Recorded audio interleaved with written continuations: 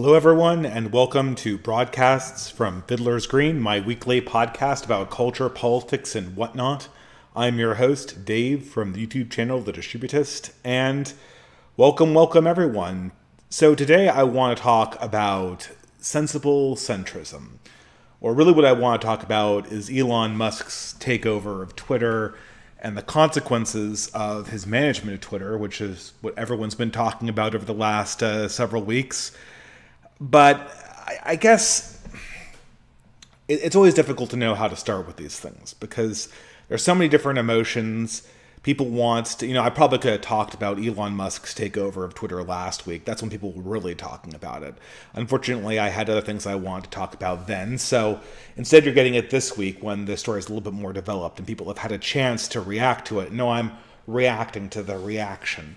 It's un- undeniably a win. It's undeniably a win, and uh, I, I, don't want to temper that. Even though, as sort of the the negative internet gadfly that I am, it's sort of my job to temper your enthusiasm and tell you not to flex on progressives. It's my job to kind of dump a cold bucket of water on all of these things and sober us up. But uh, no, it is it is a win. And I, I've been kind of before I've wanted to give my own take on it. I was sort of carefully reading everyone else's. And and the one that stood out I think the most was academic agents who directly addressed it. And he was echoing sentiments that that Sargon of Akkad was also talking about in his in his podcast about how we should reframe the narrative now that we have a victory. For for everyone out there, you know, who's watching and and they're constantly going on about how the right never wins or whenever whenever the right wins, neo-reactionaries or myself say it's not really a victory, this is illusionary, this is illusionary. This is actually a victory. This is what a victory feels like. You can sense that the left is getting more quiet. The left people should know this by now. When the left the left cries when they win. So just because they're crying doesn't mean you've necessarily beaten them. When the left loses, it tends to get very quiet. And right now, the left has gotten a lot more quiet, a lot more quiet. In fact, it's sort of hard to see their usual antics unless you watch a channel that explicitly tries to highlight the antics of, uh, of, of people on TikTok, Zoomers who don't know any better. But for the most part, the usual suspects have gotten very quiet in the last two weeks, which means that they have lost. And as academic agent has put it, the right has sort of conquered a castle. The definition of a victory, quoting Yarvin, of course, is a victory is anything that you can achieve that makes future victories, future um, advances in your own power more likely. And indeed, Twitter Twitter is a victory. Uh, this Elon Musk's takeover of Twitter has disrupted the cathedral's ability to project a narrative consistently. It's disrupted the media's uh, sort of patron, patron, patron, patronage networks and their their their their favorite way to sort of align their stories and align their narrative. And just recently, it's given a new lease of life to a number of accounts people thought were banned. There's been this huge resuscitation, this mass resuscitation of all of these people who were taken off Twitter for, for really questionable reasons. And all of a sudden, the right wing feels like it's got new life in its sails or new wind in its sails. New life has been breathed into it, and it feels the wind in its sails, and it's looking forward to something brighter, and it wants to know uh, well, what's next? Obviously, we can do so much more now that we're not banned off of Twitter. Uh, all these progressives are talking about going to Mastodon. L- little do they know, little do they realize that for anyone on the right wing, uh, alternative tech doesn't work like that, right? Uh, the, the, these whole social media networks came about at, at a particular time in human development, at a particular time in the development of the internet. And because of that, it's um, it's very, very hard to reconstruct them once they've been shattered. People aren't enthusiastic, normies aren't enthusiastic to sign up to a new social media. And the fact that the majority of the people who don't care about anything are on the main ones, the loss of that makes it very, very hard to rebuild a narrative power base somewhere else. And you have kind of ridiculous spectacles like Taylor Lorenz uh, constantly promoting her Substack uh, as as the the place where people can reach her. The new home for free speech, guys. Didn't you know that Substack is the new home of, of free speech, according to Taylor Lorenz? Uh, she was she was calling it a den of Nazis six months ago, and was was trying to smear its reputation. But but now it's the now it's her refuge. It's and and you can see now how how even even the alternatives people glom onto in, in the wake of, of the previous uh, in the wake of the previous year's mass censorship. E- even their attacks on those things have weakened slightly, weakened noticeably. Okay, now now here comes the the cold bucket of water everyone was kind of uh, expecting me to deliver. Not cold water uh, necessarily, but just some some perspective, right? It's like that scene from Ratatouille. Uh, you, you you serve the meal and, and I will I will it's all out of perspective. If you're all out of perspective, you serve the meal and I'll provide the perspective. Well, you know, Elon Musk has provided the victory and it, it seems like everyone's out of perspective, so allow me to provide some perspective here. The question isn't whether we've won. The question is what is it we've won? What have we secured? Obviously, this is something that was very valuable for our enemies. But what good is it in our hands?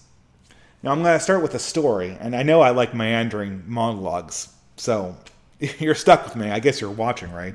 It would be funny if there if my sound was off. I, I don't think it is, otherwise people would be typing F's in the chat by now. But but I, but I, lo- I love a meandering story, and I love something in real life that kind of sets the stage. So about two or three weeks ago, uh, my wife was really keen on playing the lottery. Now, the lottery is something that I hate with every bone in my body. And it's a true marker of class differentials between our two families. I say this all the time, but it, it just shows you how class is different than money because her family and my fun, my family have the same sort of dollar amount of money in the bank, more or less. But her family is distinctly lower class or lower middle class, and, and my family is distinctly upper middle class. It's a family of teachers, and her family is a family of sort of skilled craftsmen, so to speak uh, you know, her, her father was sort of career military. And the, the, one of the big differences culturally is that in, in the sort of the lower middle class, not America because they're Canadian, but in sort of the low, lower middle class, it's acceptable to play the lottery. Whereas in the upper middle class, it's seen as sort of a, a, a a marker of, of, of being stupid because the, the odds are so terrible, right? Um, so the so I said you know then the jackpot was some ridiculous thing like to it was like it was basically like the uh, the the the it was basically Alex Jones's uh, settlement. It was like two or three billion dollars. uh, something ridiculously high, and uh, and so okay, sure, we'll buy a lottery ticket. And uh, just as that was happening, I was cashing out my, uh, you know, my Bitcoin uh, from the entropy chats you guys are giving me, and I noticed that it was a little bit less than what was actually the dollar amount that you chatted me, right? Because it was given to me in Bitcoin and there was a Bitcoin crash and now the money is worth, well, no, I take it out promptly, but it was still worth significantly less. And I joked to my wife when she was buying this lottery ticket that, that if she won the $2 billion, uh, maybe what the the lottery, the, the, the was it the New Jersey lottery? I don't know. It was some state lottery. Maybe the state lottery would uh, would would simply, you know, I know all these governments are invested in, in these these hedge funds.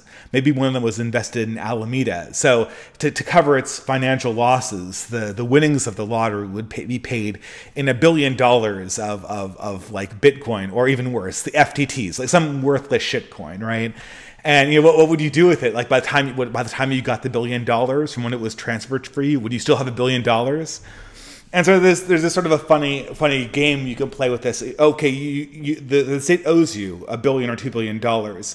What what could they possibly pay you eh, that money in so that it would become almost more trouble than it was worth to actually get the value out of it. Obviously, if it comes to you in Bitcoin, you might lose 30% of that by the time you get it into dollars. If it comes to you in FTT, you're already broke. If it comes to you in various commodities, you have to sell those commodities. You have to get them into a currency that you can use. And you, know, you think of like the worst things, like, okay, well, what about a billion dollars worth of turkeys on the day of Thanksgiving? Can you move it on time? You know, what, what is it? Oh, what? And finally, the worst possible way you get your payment. How about a mil? How about a billion dollars of cow manure? right? People pay for cow manure. It's technically a way to exchange wealth, right? So, so imagine that. Imagine you know getting a mil, a billion dollars of cow manure, and uh, you know you have a billion dollars of wealth. Uh, people will buy it from you, but it's all you know cow manure. It's all shit. Uh, and, and so now you have to think really, really hard about how you're going to move all this cow manure and get it sold on the open market before it disintegrates into methane and, and, and stinks up your entire property. And you better act quickly. Uh, this is essentially what we've gotten in Twitter. It is a billion dollars or whatever, however you want to measure power. It is a significant amount of, of, of power, a significant amount of money in my example but it's it's it's in this state where it's incredibly difficult to use. It's in the it's it's it's in it's in the form of democracy, and democracy is shit. I mean, it's even worse than getting it. It's it's even worse than if you got the lottery paid to you, in in terms of horse manure or cow manure. It, it, it, would be like getting the, the lottery paid to you in depleted uranium fuel rods. So not only do you have to sell these things uh, before like they deplete and lose their value, you have to sell them before it literally kills you. Because uh, sure, the rights conquered Twitter. That's undeniable. And that is a huge victory, mostly because we can take it away from the left and they lose the ability to forge their narrative control.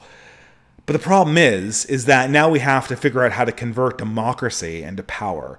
And furthermore, Twitter is an addictive drug. It literally hurts your psychology, it hurts your attention span, it hurts your intelligence, it hurts your focus, it hurts your community cohesion. Every time you use it, you lose something of yourself to it. And you know, I should say, like I'm, I'll confess here, you know, I got off Twitter for principled reasons. I got off on Twitter in the in the winter of 2020, after January 11th, because I was so connected to this whole bread tube scene, all of these really creepy people started appearing in my DMs on Twitter, issuing kind of vague threats. You know, one of the more notable ones was that um, weirdo that used to blog under the name Faraday Speaks and now has disappeared off the internet. And you know, kind of like, oh man, we've got you. You know, you know, you have to work with us, or or the feds are going to think that you're involved in terrorism. All that bullshit, right? and and and the, the whole thing felt like you know I was getting obviously I dismiss these people as the obvious trolls that they are. This this is not a serious attack. These people are flexing and looking stupid doing it, but eh, the, the sort of the aggression and the panic and the black pilling was causing me anxieties. Not only did I have Twitter decreasing my attention span, I also had it make making me a less happy person and this is noticeable. My, my my wife reacted to it. Right, we had a. I mean, I think my son was what, like six months old only at that time. Um, oh no, wait, that was um, no, it would she who would be uh, who would be a year and six six months. Pardon me. Um, the uh, so the the it was just it was time to get off Twitter, and as soon as I quit Twitter, my attention span starts to return. It's a huge boon. And I say, okay, well, I'm going to go to Telegram now. And of course, Telegram is basically like Twitter, uh, but it's less addictive. I guess that's the good thing about it. But it's actually worse in terms of quality because the the the, the people who use it are are more fringe, and it's impossible to control the quality of posting. There's bots everywhere, and uh, it has very very limited reach. It can't be used as a mechanism for a publicity. So very, very slowly, I kind of got back on Twitter, mainly through the force of one person and one person alone, and that would be Alex Kaschuta, who has a wonderful podcast and a wonderful Substack called uh, it's called Subversive, I believe. Uh, but I think her I think her Substack is called Garden of Earthly Delights, which is a wonderful name for a Substack, if I do say so myself. And Alex Kaschuta, she was an interviewer, a documenter of the distant right, and a lot of people she interviewed only had presences on Twitter, and I wanted to DM them and interface and network. So I had to create a phony account, and you know, pretty soon I'm following people, and and, and the phony account gradually becomes real as as it becomes an address book for myself. And now this last week, when when Elon Musk sort of opened up Twitter, uh, the the last barrier went down, and and it seemed like okay, well, whatever. what I'll give it another six months, and and if I'm a frazzled attention deficit disorder waste by the end of those six months, I'll reevaluate and get off of it, or I'll delete it from my phone, or I'll, I'll create some barrier so I don't use it because you shouldn't be using Twitter unless you're using it for some kind of professional reason. Uh, but but it's it's odd because in, in using Twitter, you you kind of coming back to Twitter culture after a long absence is interesting. It, it really is just the the the the demotic mind made manifest. It's all of these idiotic ideas that that that you think people have gotten beyond, and they're sort of still in full force like I came up uh, against a lot of these rationalist Christians, these sort of young guys who are trying to do the normie conservative thing over again, uh, apparently blissfully unaware of any kind of any of the dialogue that's gone on in the last five years. And you, know, you come across, uh, you know, normie conservatives, the usual fare. Uh, they're still doing their thing, and it, it feels kind of like you know the the land that time forgot. Um, and of course, you know, the old people on the right who got banned are kind of coming back and trying to get their bearings. Um, and, and, and in all of this, the question is like, well, what, what can you really develop from this relationship? What is, what is, what is meaningful? Um, what, what can be done with Twitter? Uh, what most people seem to be thinking is that Twitter is going to be this giant microphone that it's going to amplify our voices to kind of drown out the mainstream media. Uh, this is not basically. I'll summarize this. They think they're going to go back to 2016, right? And so let's let's let's cover let's let's briefly review what what 2016 was for the right wing. Why why did this? I, I, I could include 2015 to 2017 if you want to be specific. Why did this time frame uh, sort of for a moment completely expose the mainstream and cause them to run fleeing away from what seemed to be a, a resurgent right wing for the first time in, in half a century. Well, what what the what, what happened was that the, the media had built a lot of their infrastructure and a lot of communication on these ostensibly free speech platforms. These were platforms that were run by people like Jack Dorsey, who genuinely wanted them to be free speech platforms and their, their their idea was that there would be a set of ground rules and they would be relatively open. And this is a place for, for, for, ideas to kind of communicate. The, the internet is where bad ideas die was the understanding. Of course what was very very apparent from 2015 onward was that the right wing could open up all sorts of modes of dialectic that were sort of off the reservation. Once you kind of question the assumptions behind the progressive liberal worldview. Uh, you could ask questions that progressives had no answers for.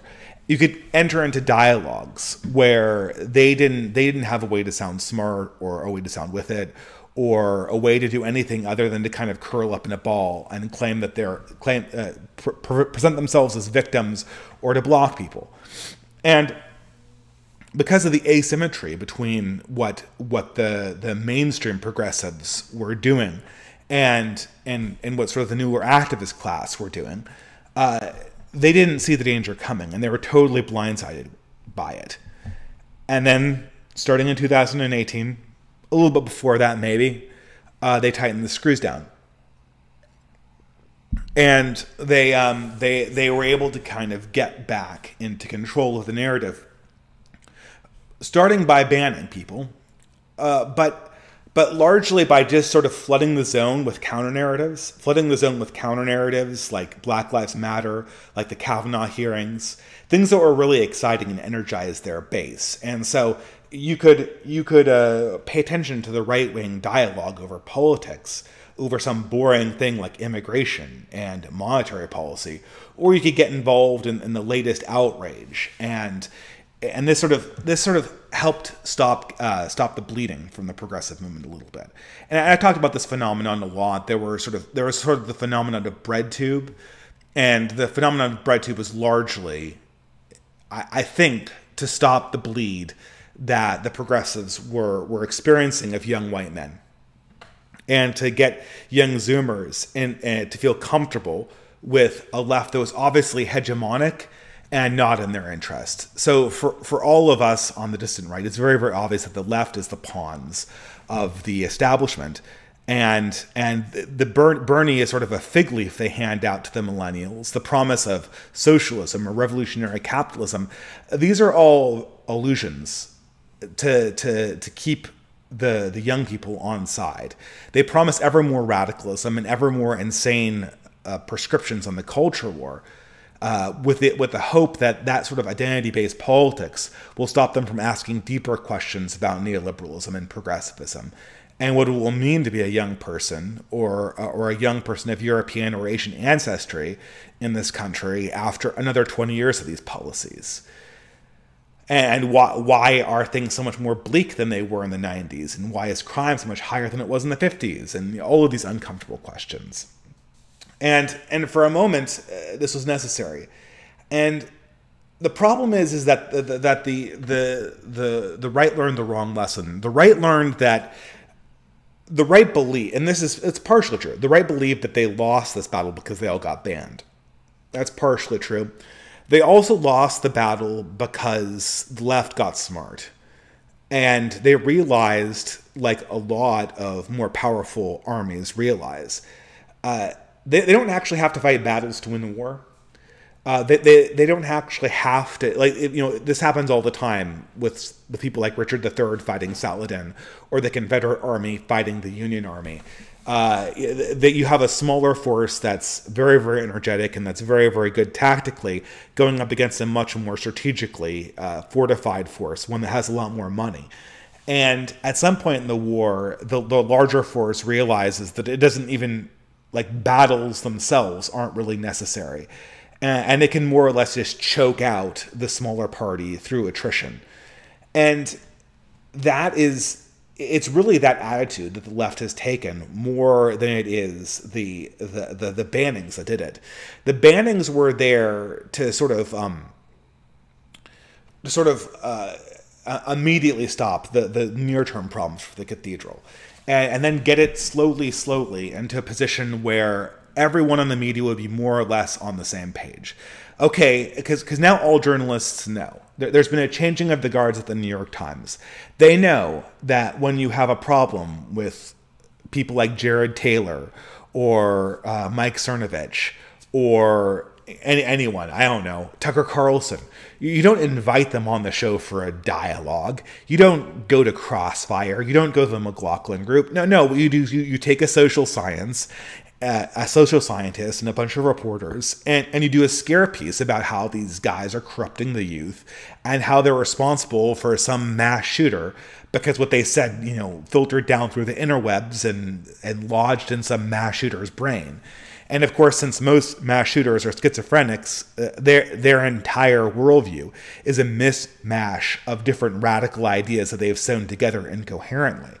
Uh, the most recent one, um, the the sort of uh, the the gay the gay nightclub shooter, from what we can tell right now, and I'm speaking in early December, uh, it appears like like most shooters, he just took everything from everywhere.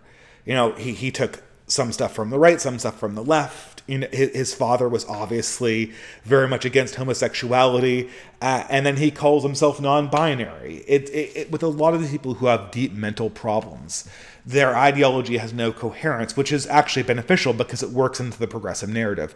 Sure enough, they posted something somewhere that looks right wing, so then that becomes part of the narrative. They were a right wing assassin. And, and so the the left knows th- extensively throughout its institutions that their goal is to shut down discourse, to never platform the right in anything but the most controlled circumstances, ones where it's very, very obvious what the messaging is going to be. And, and they've solidified that over four years. The unbanning made that the solidification of that narrative possible in the short term. But now that everyone's on board, it's not going to undo that. And and so what you have now is you have a lot of noisemakers on Twitter. And that's going to be useful. I mean, you can create a lot of noise and you can create a lot of narrative power on Twitter. And progressive and progressive journalists who use Twitter are going to have to contend with that. But at this point they know better not to, they know better than to try to engage with it. And you see the, the reemergence of, of these characters that are sort of blast from the past. Just this week, and I know people want me to mention this, there was this whole meeting of Kanye West, uh, what is it? Kanye West, Milo Yiannopoulos, remember him, and Nick Fuentes. And, uh, you know, I don't really know much about Kanye West. I kind of intentionally try to ignore him because he's obviously an unwell person who's suffering from uh, manic phase of a bipolar disorder. It's very textbook that.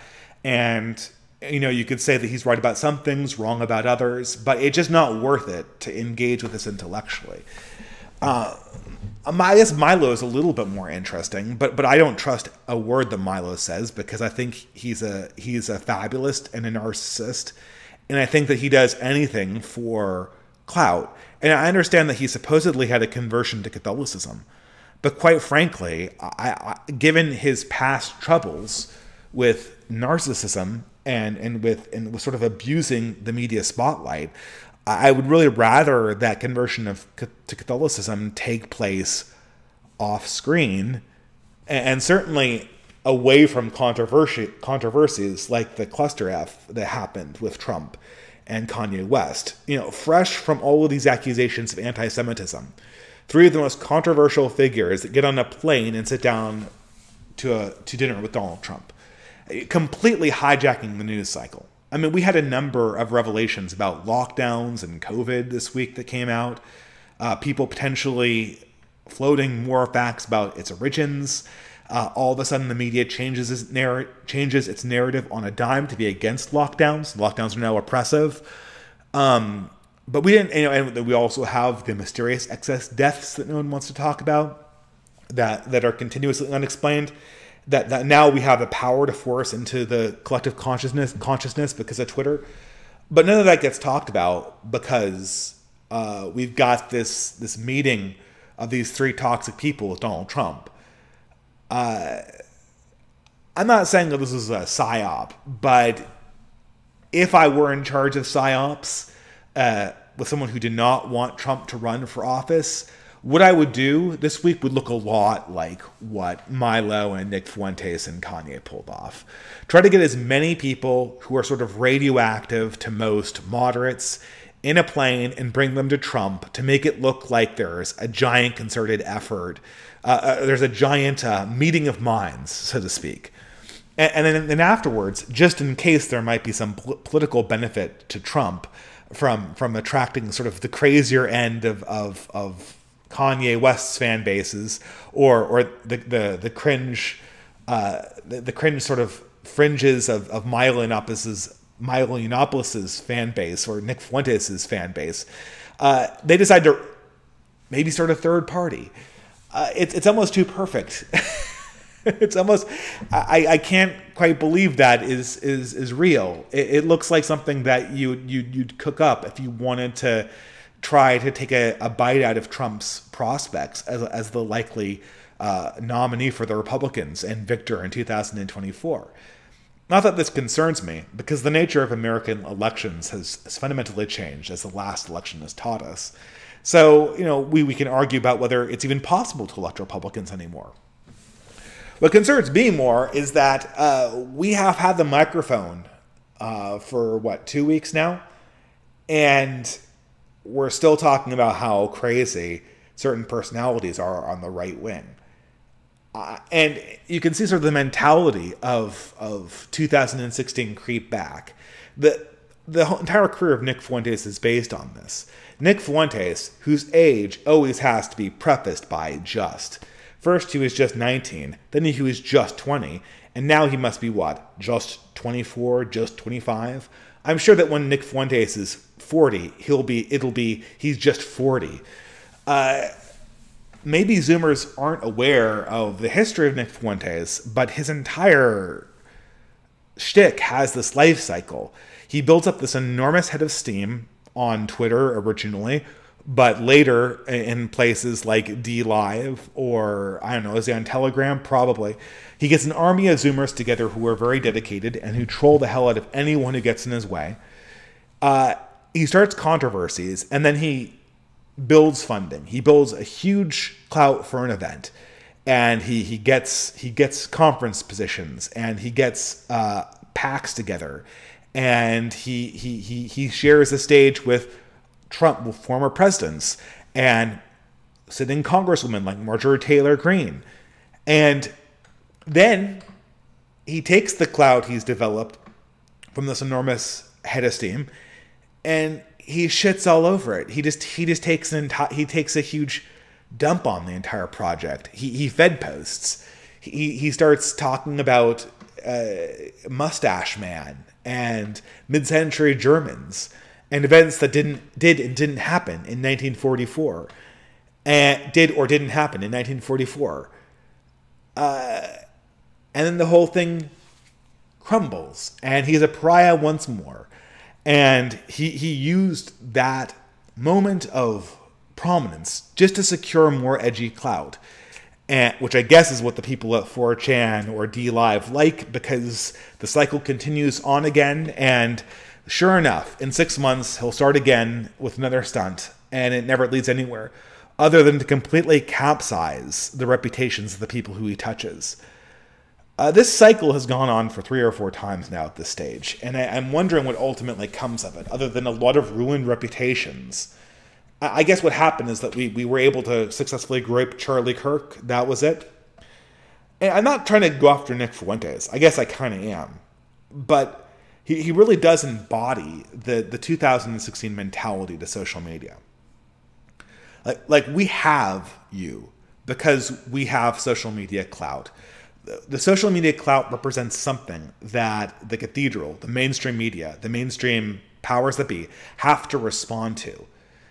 They believe that in 2015. They don't believe that now. And they will intentionally try to freeze the right out of any kind of dialogue or dialectic.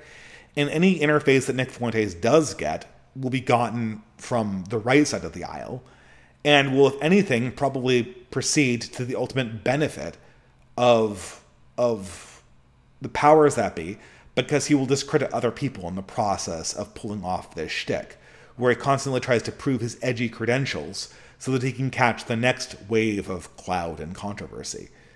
Trump was able to manufacture controversy and then use that to pry his way into the media. The media was forced to cover him. The media is more disciplined now. The media has closed ranks. They're not falling for this stuff anymore. And so now that we're all unbanned, now that we have a castle on Twitter that is not completely hostile to right wing ideas, uh, we have less than we thought we did. I think just definitive. I mean, it's still it's still power to a certain degree. It's still something that can be used, but but it's not something. It's not something that leads directly into the headlines directly, and it's it's less clear what demographic can be peeled off from the mainstream. It was very clear what demographics were peeling off of the Democratic mainstream in 2016. It's, it's very clear who you're talking to.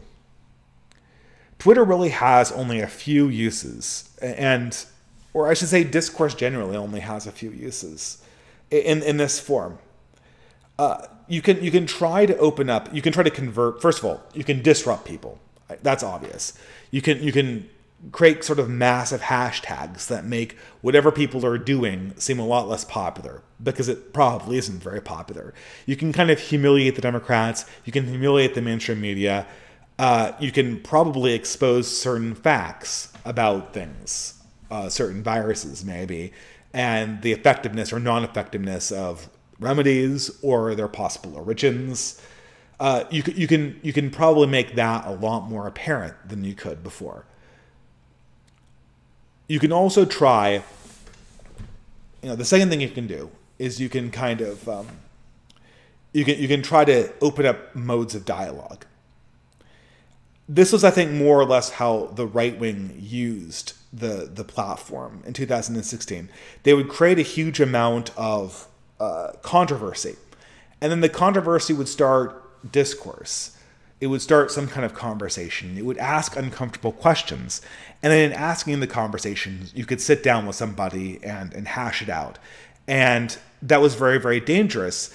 And what, what made it dangerous was, I think, less so the initial explosion of controversy and more so the conversations and dialectics that came afterwards, because the left had completely lost their ability to communicate this stuff. Uh, they, they completely lost their ability to, to be convincing and to kind of hold the frame. And, and the last thing I guess you could do is you could try to take these these discourses and these that are happening on Twitter and then move them into a more real space. Move them either into private conversations or private relationships, or preferably move them onto a Rolodex that can eventually be used to build things either in more intimate forms of media or ultimately in real life. Those are the three things you can do. And and they've all gotten a lot harder to do for, for a variety of reasons. Here I'm going to bring up academic agent's idea of sensible centrism, which is his his idea, and this comes from an Elon Musk tweet that the Democrats were no longer the sensible center, and academic agent said that oh well that means you know what we the right should do is present themselves as the sensible center, and I, I don't know if Sargon of Akkad was the originator of this or if he, he sort of hopped on the bandwagon of academic agent's idea to kind of make this the new flag of the right. But but this was the idea was that now we're no longer being banned. The narrative should be that the right wing is the center.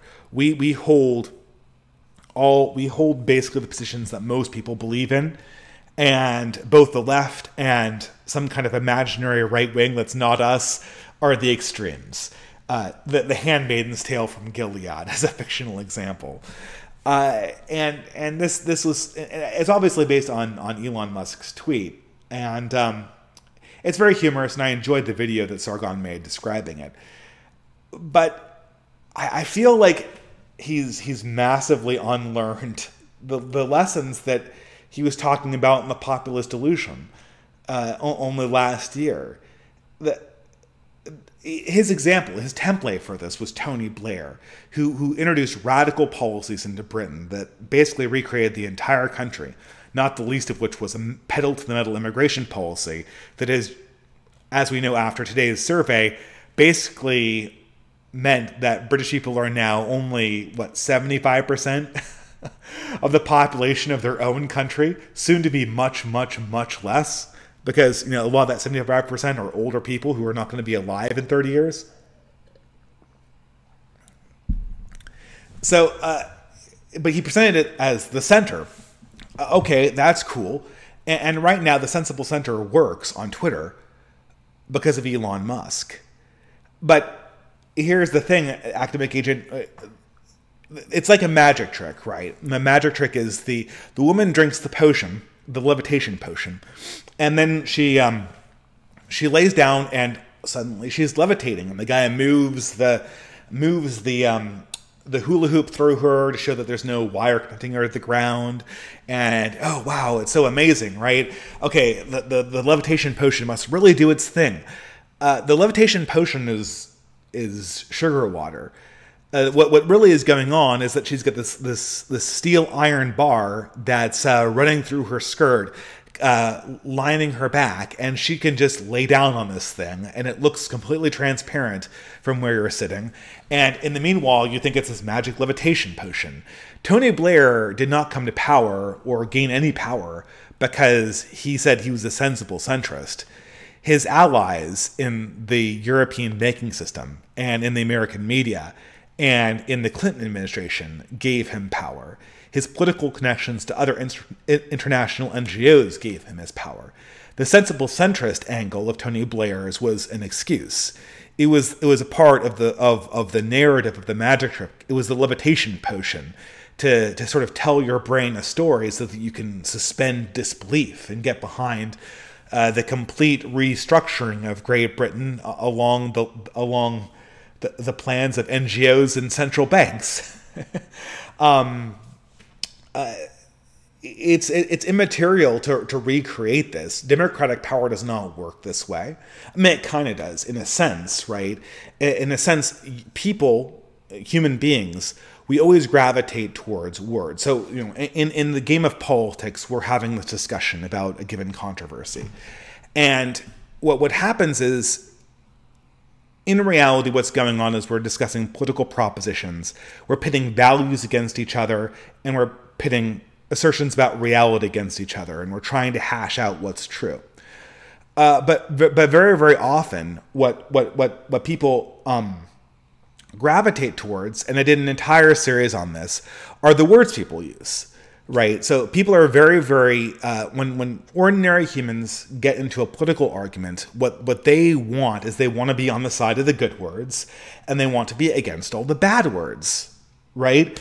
And in the meantime, what they don't realize in this whole uh, conversation, uh, this whole di- discourse or dialectic, is there's something called a framing, and, and a framing is is the core assumptions that exist behind the debate itself and in particular, the kind of questions that you're asking. So, any debate is organized around a question, and if you're not answering the right, asking the right questions, you're never going to get the right answers, or you're, you're never going to get meaningful answers, right?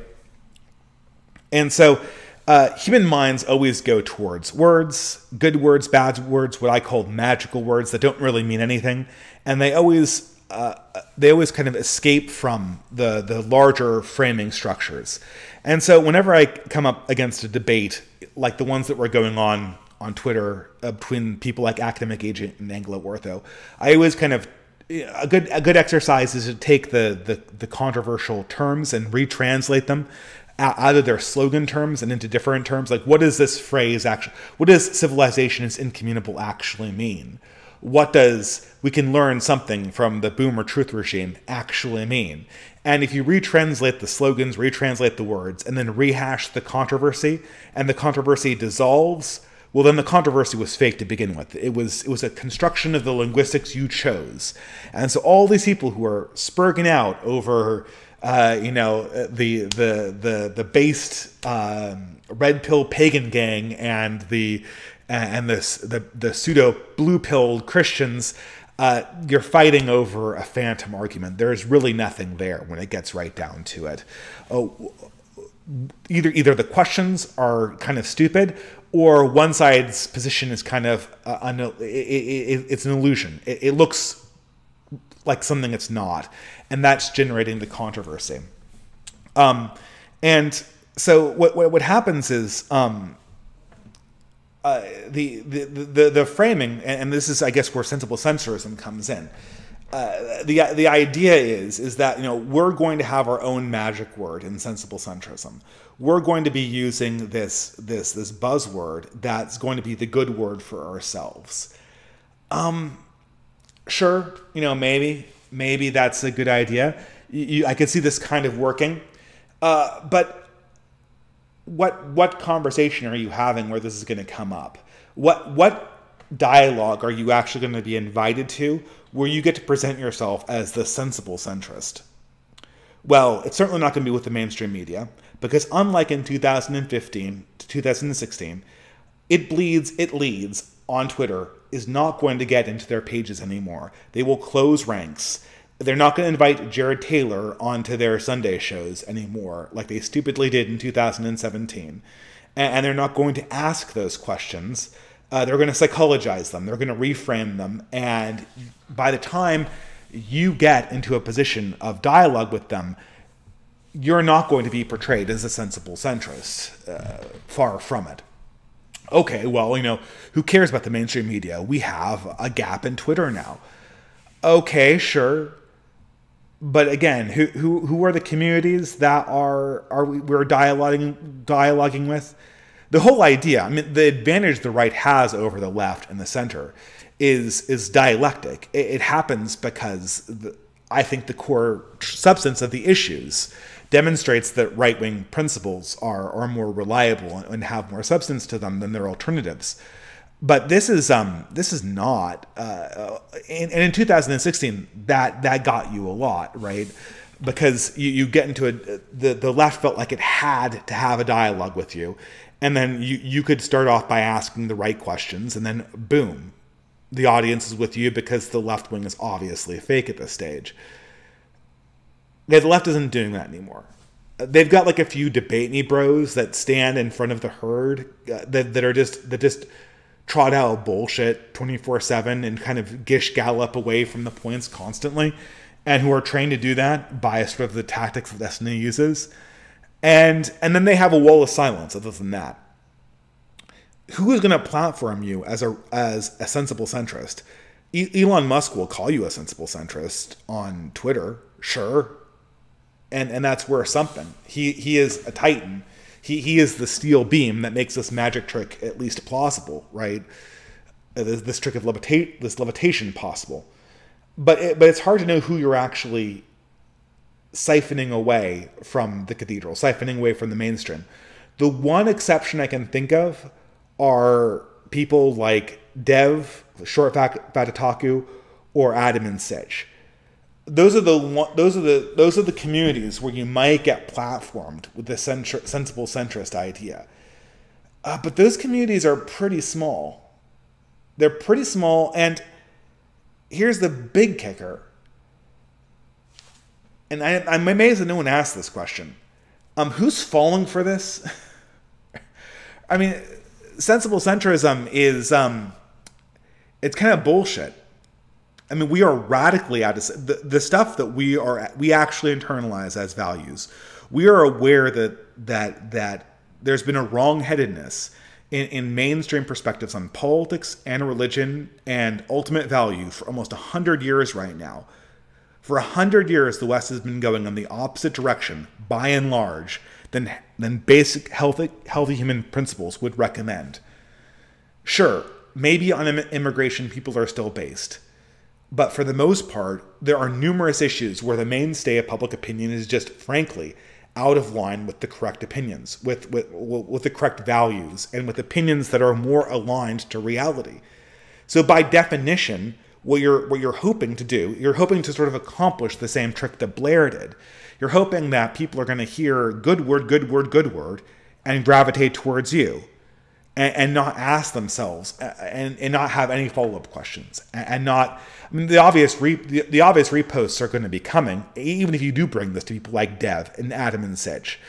Uh, this isn't being made in a vacuum. For every position you portray as sensibly centrist, they're going to go to your internet history and they're going to find five of them that sound absolutely nuts by modern standards. I don't think that they're ultimately nuts, but their mainstream normie audience is going to think that they're nuts because they're way out of whack with what the mainstream has been telling them for, for their entire lives. And, and furthermore, the fact that they're, be, they're being presented as centrist opinions is going to seem make them seem dishonest, in my honest opinion. Uh, this framing trick only works when it's being supplied directly with power. Uh, just like the levitation potion only works when there's a little metal bar uh, on the inside of the floating woman's uh, dress so that she can actually lay down on it and not fall to the floor. And once that power is taken away, and it's not hard to take power away from a right, even when it's unbanned from Twitter, uh, that sort of magical word is going to get deconstructed, and it's and it's going to fall flat and, and maybe, and, you know, of course, you'll get into dialogue with Dev and Adam and Sitch's community with this tactic. Probably. This will probably get you an audience with a lot of those people. A, those communities are actually pretty small relative to what was up for grabs in 2016. B, uh, you know, you'll see how, how far you get with them, trying to sell them uh, positions that are, frankly speaking, radical, just objectively speaking and and see and most importantly uh, what kind of people are we getting I mean, we're getting the kind of people that that that want to that want to be centrists that want to go with the flow that want to listen to the good words and be nice to people and and not offend anybody and they, they care a lot in the moment that that they're associated with the good word Sensible centrist is a good word, and so I want to be associated with it. So I want to be with the sensible centrists. So now all of a sudden, I am reading Julius Evola um, or Joseph de Maistre to pick an author I much prefer. Um, th- this is a foundation built on sand. This is a foundation completely built on sand, and, and you're, you're going to get exactly what you got previously and exactly what exists on Twitter. You're going to get an audience that's a mile wide and an inch deep. And this is not the way to, to actually uh, run a movement, and um, all the while when I'm I'm hearing this stuff about this the, the sensible center, my mind's being drawn to a, a certain controversy, and this is I, I I know I'm at the hour, but I got kind of another rant going here, and uh, so now that I've sort of disclosed my mind about sensible centrism, uh, forgive me for for sort of segueing into this because I think it's related. Whenever I hear sensible centrism, I think of this one word that anyone who is aware of, well, in particular Protestant Christianity, but if you are a Catholic who is in the apologetic community, you'll be aware of this word too. And that word is winsomeness. Winsomeness. Be winsome. Be friendly. Uh, you know, go, go go out and make everyone like you. And you know, there's tons of people who want to be liked, and you know, we'll be the people who attract the people who want to be liked. This was the strategy of a lot of apologists in the 90s and in the 2000s. Last week, I was criticized for being overly harsh on this community, a community I call evangelicals, but I don't know what to call these people anymore. I, I don't know what to call these people anymore because they they, they resist they they resist um they're they're non-denominational for the most part. And, and, they have a very particular character and they're very very prominent in american life. And and there there's no there's no way they, they have to be part of the conversation. I'll say that. Um winsomeness was the strategy that the christianity had gotten a bad rap from the 1980s and that what it really needed to do was to be friendly and happy clappy and accessible to young people so it could get a lot of people in it who who who, who were, didn't feel like they were listened to modernity had cast a lot of people aside and it was for christians to kind of make things comfortable for them and the um um I'm, I'm just reviewing my notes here. Pardon me if I seem a little distracted. Um, the the um, this strategy, I think, is one of the most failed evangelical strategies. Um, I mean evangelical in the broadest sense of the word uh, of the last century. It it's it, it fundamentally misunder it fundamentally misunderstood what was going on in the culture war. It fundamentally misunderstood what Christianity was like. It fundamentally misunderstood how people perceived religion and and it focused on creating these types of churches that were very very shallow and that were entirely focused around individual characters or individual personalities. Uh, the the sort of mega pastor that was that was that was that was sort of the soul of the church. And, and it collected a number of people who who were very very focused on on being liked and, and worse than that, it, it created a generation of younger people who were similarly focused on, on being likable and being liked. I always remember that there was this uh, The Case for Christ by Lee Strobel. I think that he, he, he recites his conversion story, and it happens when he encounters a Christian woman who's really, really nice to him. And he has this very, very powerful conversion and comes to embrace Christianity with all of the spiky bits and all of the darker parts and you know he's a very very firm believer. But people who followed in sort of his wake have centered winsomeness as as the core of their religion to begin with. And, and so now the phenomenon of this has kind of borne fruit. And, and i really don't know what to make of this at all. I know that Jay Burden is doing a podcast really at the same time as this one where he discloses his mind about these types of people. Uh, but but you can see this in this in this recent controversy. Um, there is a Christian school that that was associated with. Um, I, I, think a variety. I, I, don't. I don't know exactly what the the denomination is. Right.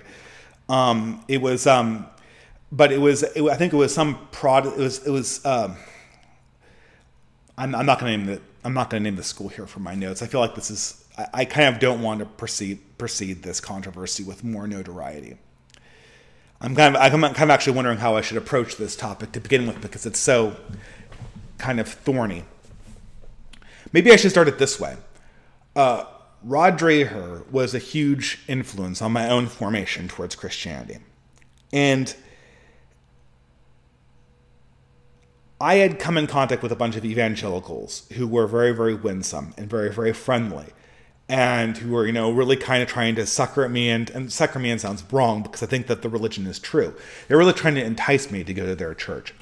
And I was really, really, you know, I liked them, and I was souring on new atheism. And so this was a this was a perspective that I kind and I was you know I was a big fan of C.S. Lewis.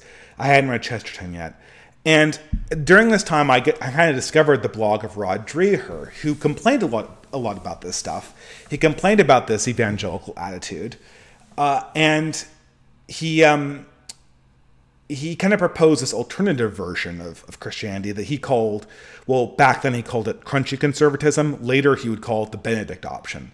That Christians need to be kind of, um, you know, we need to live our faith but the darker parts need to be prominent, and they're not going to be palatable to the mainstream. So we kind of need to live apart from the mainstream. We need to have our own communities, but we need to hold the line.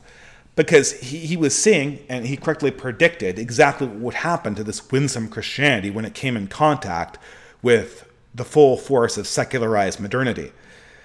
The the children of these winsome Christians that went out into the world in 2008 and 2009 did not encounter an environment like the 1990s. They encountered the new atheists.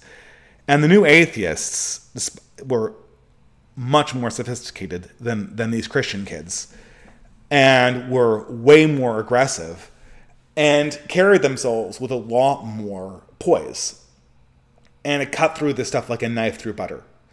Because as soon as the, the nice words went away, as soon as it came down to examining the hard beliefs, as soon as the frame changed, all of the winsomeness just flooded right out of the room. And you get to this, you, you got down to the core where the attrition rate for evangelicals became insanely high. And I know you know, there'll, there'll, be people in the audience, and I think I pissed off uh, the good old boys when I talked about this last week. And I really don't know how to talk about it because it's not my community, but I can't say I don't see this stuff. Uh, everybody can see how this works. And Blue America can see this very obviously. The, the evangelical community is a stalwart against progressivism, but it gets the stuffing beat out of it consistently because its attrition rates are very, very high and the attrition rates go straight into progressive, uh, the progressive um, world. The ex-evangelicals become the soldiers for the progressive movement. Furthermore, furthermore, they don't just take 10% randomly. They take 10% off the top, which means that the evangelical community is being brain drained every year by by progressive America. They're basically they don't need children. Progressive Americans don't need children they have yours. And and that's because the entire movement didn't have any roots. It didn't. And or or it had roots, but the roots were all sort of individual pastors as far as I could figure. You know, people like the guy from the Mars Hill uh, church that, that I saw in Seattle. And he, he had he had a downfall too for some strange reason that I'm not going to get into in this podcast. But Rod Dreher was was made sense to me because he was talking about building roots. You know, okay, obviously Christianity is out of sync with the times. Duh. Right? You, you never hear that from my evangelical friends. But for any person who lived in Seattle or Portland at that time, this idea that the stuff that they were promoting in, in their events was cutting edge was obviously ridiculous. Christianity was ra- radically out of sync with the times, radically out of sync with the degenerated modern world. But, as Rod Dreher would say, Christianity is in line with an older world that's deeper and has more truth to it. And and, and that what, what we really need to do is we really need to build these deep roots. We'll never move from this core truth, from this classical wisdom, from, from these older ways of doing things that are tried and true methods that our ancestors have done and that, that obviously lead to better results than the progressive world. And you know, this is the message that really kind of got to me. I didn't want to be in sync with the with the with the progressive world I was in. I certainly didn't want to be winsome towards it. The whole reason why I was even considering Christianity at the time was that I saw the utter moral bankruptcy of the secular progressive world around me, and I wanted absolutely no part in it. And so I, I found this. I found this uh, very very compelling. I mean, like, why are you guys shying away from the Old Testament? The Old Testament is your your your most based your most profound, not your most profound, but it's one of the most profound pieces of the scriptures. It, it, it grounds uh, God's communication with the human race inside a struggle, inside the struggle of one people. That, that's very, very real. That's very particular. That's very bloody. That feels like it actually comes from real life and it doesn't feel like a, a car commercial or, or a television ad or, or a cartoon. This is an actual document that came from the Bronze Age or you know later the Iron Age or whatever. The this is something that that that has substance to it, and you know oh no, but just just just follow the the parts of the Bible that, are, that make you feel good or that, that are that are very winsome to the secular world. But that seemed to be the exact opposite direction. And so okay, you know you think well this this is something that that that I can get behind. Rod Dreher, he, he is someone who understands what the problem is, and so I follow this this guy, and I've I've been following Rod for years now, and the problem is is that his project, and I, I'm not so sure exactly. It's hard to know where where to begin with this. In some sense, he was not the man he presented himself as being he was not a rock that did not move, and, and he was not a possessor of some kind of consistent tradition. He was not uh, the, the the the unmovable fixture of a community. And I, I, guess that's sort of deeply personal. But Rod Dreher sold himself. He sold his own. I mean, he wrote three. I read three or four of his books, and a majority of those books were his biography. He wrote a book about Dante that was most, mostly his biography, uh, or, or, you know what was happening to him in this in, in his own life during this time, and and and, and furthermore, the conversation never never evolved for Rod. He he um time uh, the culture war got worse and worse and worse as he predicted christians lost and lost and lost with their winsome attitudes and and christian life further degraded towards sort of a, a, a secular life with a christian veneer on top of it and but but every time rod came in contact with people who were making a harder break or who were more aggressive towards the mainstream he immediately backed away. He immediately kind of. I remember early on reading Rod Dreher, he he did this uh, this huge counter signal against uh, Mencius and he described him as some kind of deplorable villain. Um, and think about it. I think I read Mencius Moldbug because I read Unqualified Reservations and I didn't get much out of it my first reading. I was like, okay, it's kind of wordy and and you know he's got some points here, but what's the ultimate point of it? And but for, but to Rod Dreher, this guy was a this guy was a villain. He was corrupting the youth away from you know this liberal vision of of of of, of Christianity. Of course, this liberal vision, we, we would still keep our deep Christian roots, but but everything else about our lives would be intact and modern. And the Benedict option of separation, well, well, that was like that was figurative, kind of. It was never really clear what was being separated from the Benedict option but it was kind of off to the side. It was just, it was sort of a caution. We need to keep this in mind. Okay. Um, you slowly begin to realize that, that Rod has absolutely no self awareness about his, uh, about, I mean, his, his, basically, you know, and I don't want to make this personal, but I mean, his own community and his own relations was, was, were falling apart behind the scenes to the to the point now where he's entirely based out of Hungary, a country that he has no connection to, uh, other than he was invited once to speak at an event with Viktor Orban, I think, and and and his connections to the community he wrote so much about across all his books is gone.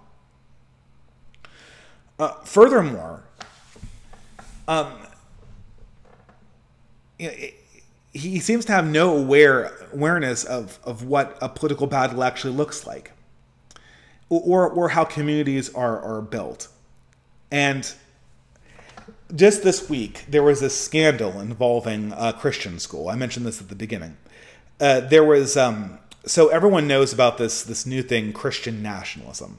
I've been highly critical of this pro- project because I don't like the word nationalism. And but you know, I'm willing to roll with it, right? If we want to use a modern term, let's use Christian nationalism. They basically just mean Christian stewardship and the pursuit of, of sort of political stewardship in, in the way that most Christians would have practiced it for the, the late 20th century. And as far as I'm, I'm I, I think I read some blurbs from the book. Uh, it was by Stephen Wolfe, and um, and uh, it, it seemed. I mean, compared to most of the stuff we talk about in the distant right, it was pretty tame. And I think one of the ideas they introduced was kinism, which is the entire. I mean, I think I don't know exactly how they phrase it, but but it's the entirely consistent Christian notion that you have a greater responsibility to those who are close to you than you do to those who are far away from you, uh, both in lineage and in in, in, in proximity. And, in, and, you can't, for instance, sell your children into slavery, uh, even to buy the freedom of another person. Uh, that's that, that is that is an evil act because you have a direct responsibility to take care of your children, and, and they have put their trust in you not to betray them, and, and to sell them out even to accomplish a greater good, is an act of betrayal to their greater interests.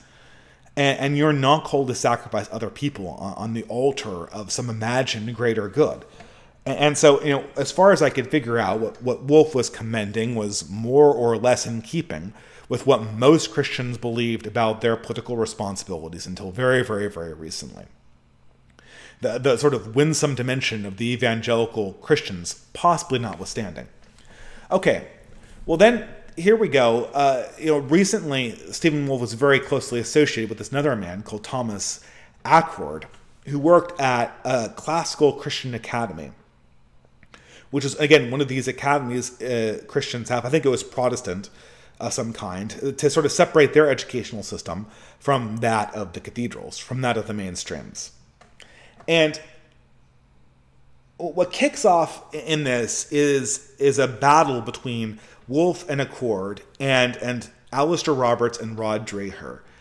And, and this is one of the most embarrassing inter-Christian fights I've ever seen in my entire life and, and demonstrates I mean if these are the leaders we have uh, if these are the political leaders we have in charge of Christianity, we are in serious trouble. And but but watching it from afar, this is this is what I'm seeing. Again, th- these are. I, I, can tell most of these people are, are come from kind. I know I know people object to me saying they come from red states.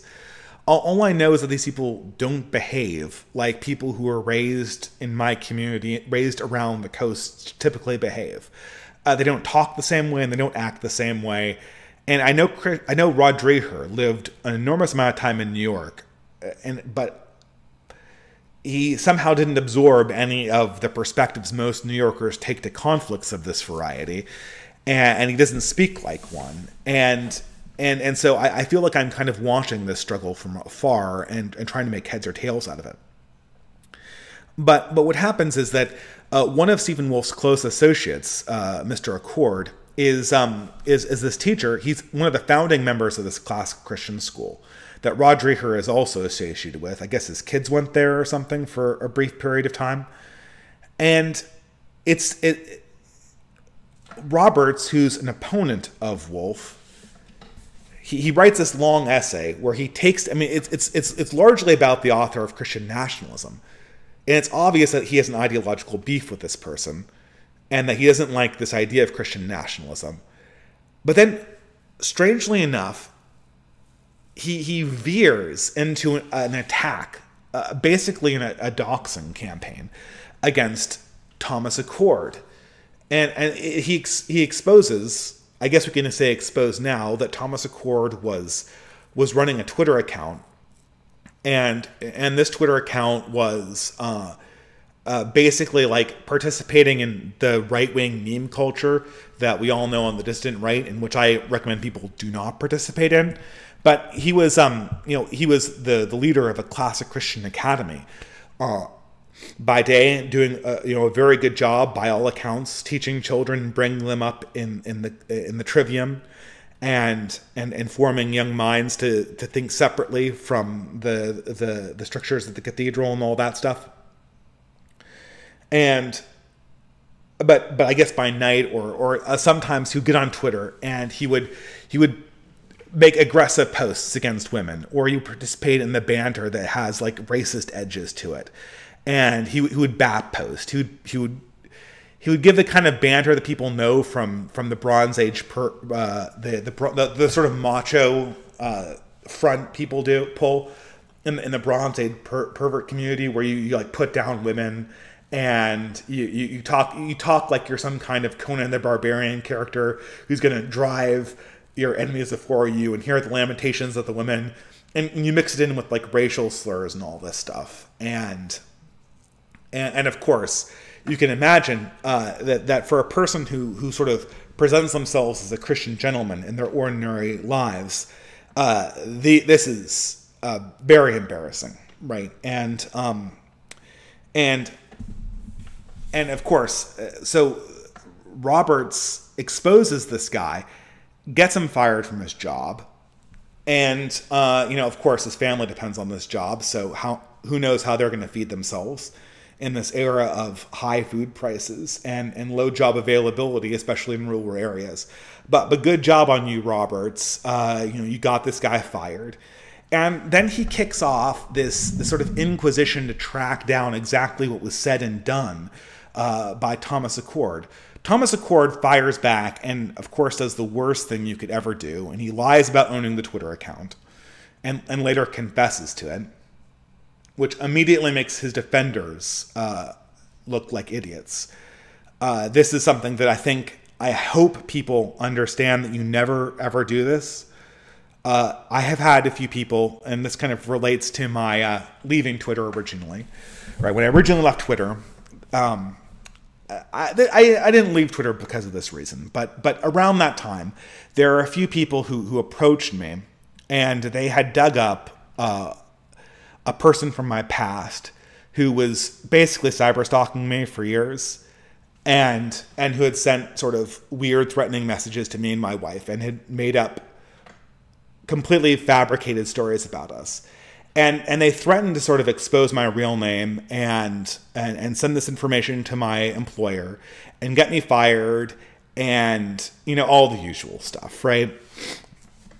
And um and uh this is the thing uh, and the the right response the response i did give um is you you just say like go do it if I, I told the person blankly, look, this person, you're not, you think you're exposing a secret about me. We well know this. We, we know this person. My, my wife and I know this person well as a stalker for years, and, as a person who's who's made up fabulous stories about uh, me, and we were we, we usually deny. The second you drop this stuff, we will absolutely deny it.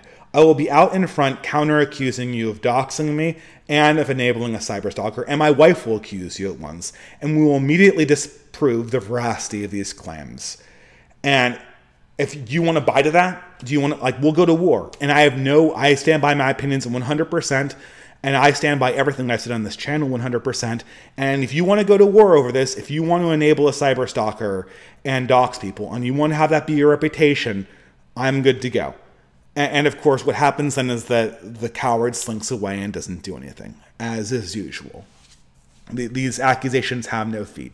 Once you know you are a prey species, as Moldbug says, but if you stomp your feet, if the if the elephant stomps its feet and and makes it clear that he's in the mood to to skewer a lion on his tusks today, even at the risk of his own life, that lion's going to decide that it's not worth the fight and he's going to slink away, and or in this case, the jackal. Uh, and that, that's how you respond to cancellation can- attempts complete honesty, complete ownership, and then reply with aggression. You want to bring this fight on? Bring it.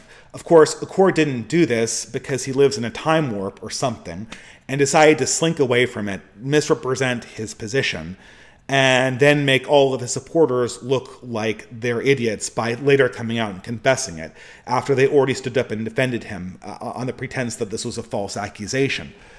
Um, but that's that's actually the, the lesser of the two things because what happens from Rod Dreher's, and I don't know if I'm properly illustrating this to people because sort of the, the shocking dimension to this is can't be understated. And uh, because it was obvious from the get go that the target of these accusations was not Achord, it was Wolfe. Uh, that's how the initial doxing attempts went, and that's how the firing went. And um, the, the behavior of the accusers is absolutely atrocious. First of all, if I were to see this, if I were to read his account objectively, I would say this. You know, let, us say, for instance, that I was in, in the position of the headmaster of the school, and I'd come across uh, the account of a professor who had uh, who had unbeknownst to me, had a double life as a shitposting right wing troll. Uh, you know, no one know, no one in the community knows that this shitposting right wing troll exists, uh, but it's conduct unbecoming a Christian gentleman. It's conduct un- obviously, and it can't continue. Um, I would assume because I know this person and I'm friends with them and I'm close with them that what happened was that this guy had logged on to participate in right wing Twitter and he, he got angry and he got revved up by the crowd. And this, this was kind of an excited utterance, the way you might yell at a sports game, like, you know, like pull a Sam Hyde. You could say, Hasan Piker, I'm coming to murder you in real life, right? That kind of thing. Uh, that's what Twitter is. Twitter are Twitter are those moments of pure catharsis in, a, in, in 288 characters every second of every day. That's what makes it so addictive, right? It makes you angry, it makes you engaged. It's like you're cheering for your side constantly every second. And so you can't put the phone down, and that's why it corrodes your attention span. Um, and because I'm reasonably competent, because I come from this age of the world, I know how social media works. I'm not stuck in the 90s. I'm not pretending like social media is something this guy sent out via email. I'm not I'm not pretending like this that he published this in a book. I, am aware that this happens instantaneously and and with actually a minimal amount of thought oftentimes. And so I would very I would charitably examine this and conclude that that he doesn't necessarily believe all these things, but he is exhibiting again conduct unbecoming a Christian gentleman. I would then probably ask him to delete the account minimally, apologize, privately to the people he offended, and maybe at the discretion of the institution, I would, uh, I, I might like, I might ask for a public apology and I might ask for like, you know, maybe some minor disciplinary action, maybe a suspension or something, a slap on the wrist, right? Um, this, you know, and, and, um, what, what really happened was they they went after him with everything they could. They got him again, like I said, they got him fired from his job. But but more than that, like they they what what what what what happens with uh with with these people is um they take his worst tweet quotes. Think of the worst thing you've ever written uh, on social media, anonymously, in, in in Call of Duty in a gamer forum uh, you know, eh, during during the playoff season when you're you're tweeting out how much you want to uh, murder the other team's quarterback or how much you know, uh, or or you know, weird eh, sexual innuendo to, to piss off the other team, um, whatnot. Think of the worst thing you've ever written anonymously on the internet. Okay. The frame that Roberts takes and the frame that Dreher Dreher takes this controversy that's confined to this Christian college. He blow he publishes it on his blog and blows it up to national proportion. And when he does this, he takes the worst aspects you could possibly assume about the worst thing this person has ever posted and portray them as if they were like his secret beliefs He's a Trojan horse, Rod writes, for white nationalist, racist, anti Jewish attitudes. He's trying to smuggle them into our children. He's trying to secretly indoctrinate students to become neo Nazis. And this exposes him. The person that showed up every day and who was my good friend and colleague, that's the fake person. The, the real person is these five 288 character tweets. That's the real person. Th- these weren't a mistake. This is exposure that he's actually a secret alien Nazi on the inside. He, he has no soul. He has no internal struggle. He has no weakness. He, he just is a Nazi. And, and now we need to destroy him. No, we don't need to destroy him. We need to destroy him and then we need to go to every single other person who is his friends. And if they do not denounce him, and I, I, you think I'm making this, I'm not making this up. Rod Dreher actually did this. He goes to all of uh, Achord's friends and, and demands that not only do they disagree with the tweets, which obviously they would disagree with the tweets, right? I bet Achords would, renounce the spicier elements of the tweets if they were brought to his attention.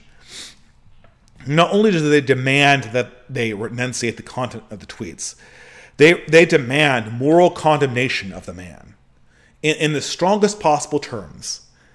And when they respond with sort of a hesitant, well, I'm very disappointed. It seems like he must have been under a lot of stress. This might be a mistake. Let's be charitable. They're immediately guilty of the same Nazi conspiracy. Uh, they're on the same Trojan horse to indoctrinate Americans' Christian youth with white supremacy. Yeah, the conspiracy to convert Christian youth to white supremacy in 2022, Rod Dreher.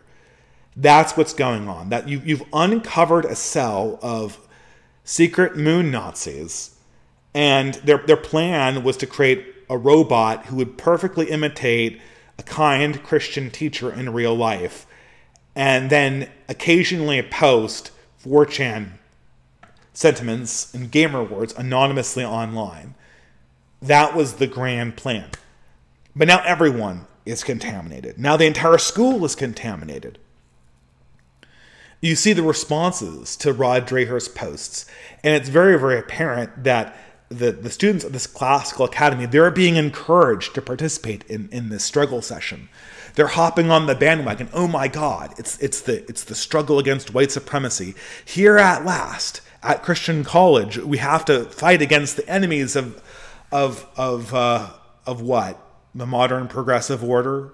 What even is white supremacy? Who who invented that term? Is that a progressive term? Would people have even understood what white supremacy was in the age of Chesterton or what would they even have made of that? It's a moral panic. But now, Rod Dreher says, who, who, how do we know who to trust? Thomas Achord could have influenced anybody. They all could be secret Nazis now, and the entire. I mean, saying this on a national platform, which was what kills me. Every everyone is a suspect. Every everyone is a suspect now, and uh, and, and, now the school probably needs to close. He ends with this. I I I I, th- I think that the school might the the classic Christian academy that we developed here is is going to it might have to close because who knows? It's such a besmirchment of our reputation that this happened that that we, we all Christians need to do is just cannibalize each other for, for any kind of infraction or association with this one person. We need to cancel Stephen Wolfe because he's associated with this guy. We need to cancel his fellow teachers because they're associated with this guy. On and on and on until they join the insane mob that, that Dreher has kicked up. What the hell? I mean, talk about falling for the leftists' frame. Has, has Rod Dreher done any uh, introspection on this whatsoever? What if this had been? I mean, let, us get this. And, you know, and I talked to the people who were who were on this mob on Twitter the other day. The the people who were in this group. Of, of, of I think this was one of the students, although I'm not sure. But this was one of those. This was one of these this type of student, and these people are conservatives. They they, they think that they, they're they're raging against CRT uh, because they've because they've read, uh, which they wouldn't be had they not been reading right wing Twitter. So, so even their spicy right wing takes come from, from the very spheres on Twitter that they, they, they, that they otherwise would freak out when they read. Uh, but so, but they're very against CRT, and they, they, they use the they use the language of CRT even though it's kind of meaningless, and, and, and but they're also really against white supremacy, which which anyone who, who's paid any attention to these what they call CRT authors would know that the obsession with the conspiracy to create uh, to a, a secret white supremacists moving through our institutions is one of the hallmark beliefs pushed by people like Ibram X. Kendi and Ta-Nehisi Coates and Charles Blow, or anyone from these these places, any any of these journalists, any of these academic, Robin DiAngelo, and any of these uh, any of these thinkers throughout the academy. They all believe this, but but now, um, what's so funny is, so so they're very very worried about CRT, which they get from edgy right wing spaces that they renounce. And they're also very, very worried about white supremacy, which they've gotten from, unbeknownst to them apparently. They've gotten this this paranoia about white supremacy uh, from the very left wing, what they call CRT people that they denounce, and they're trying to marry these things together in the most insane way imaginable, right? In the most in in in in, in, in the most insane lopsided way imaginable if this had been, for instance, like uh, let's question the frame here. So they're they're very much against white supremacy and CRT. Okay, so let's say, for instance, that as opposed to Thomas Achord being a white guy who published tweets supporting white supremacy, what if he was a black professor who tweeted tweets uh, like that, that New York Times tech columnist, all of these anti-white tweets, all these sort of genocidally anti-white tweets. Then she got hired by the New York Times. I forget what her, her name was, but everyone remembers that controversy. And, and if you don't like her, you can pick half a dozen other ones that, that periodically go in and out of these institutions and that, that talk about these these these that, that voices incredibly anti-white sentiments. What if it was a black professor, a black Christian who who got caught uh, you know, talking about how we need to kill Whitey on on Twitter uh, under a pseudonym. Would would they have fired him and then conducted a witch hunt uh, to to try to purge the institution of any anyone who was guilty of his taint?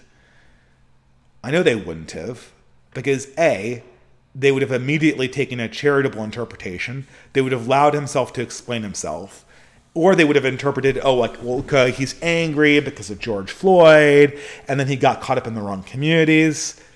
They also wouldn't have canceled him because they wouldn't have dared to cancel him because the powers that be would have stood behind him.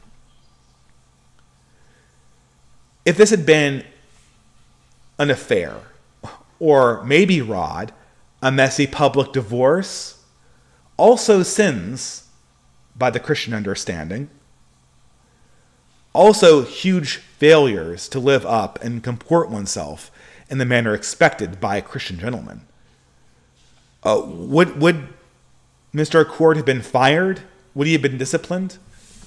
Would he have been purged from the ranks? And not only that, would all his friends be forced to publicly denounce him?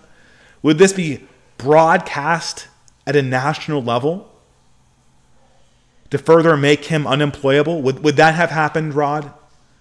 Would that have been the response had this been a moral failing of the Christian variety that you yourself acknowledge as a mortal sin? No. So we wouldn't do it for ordinary moral failings.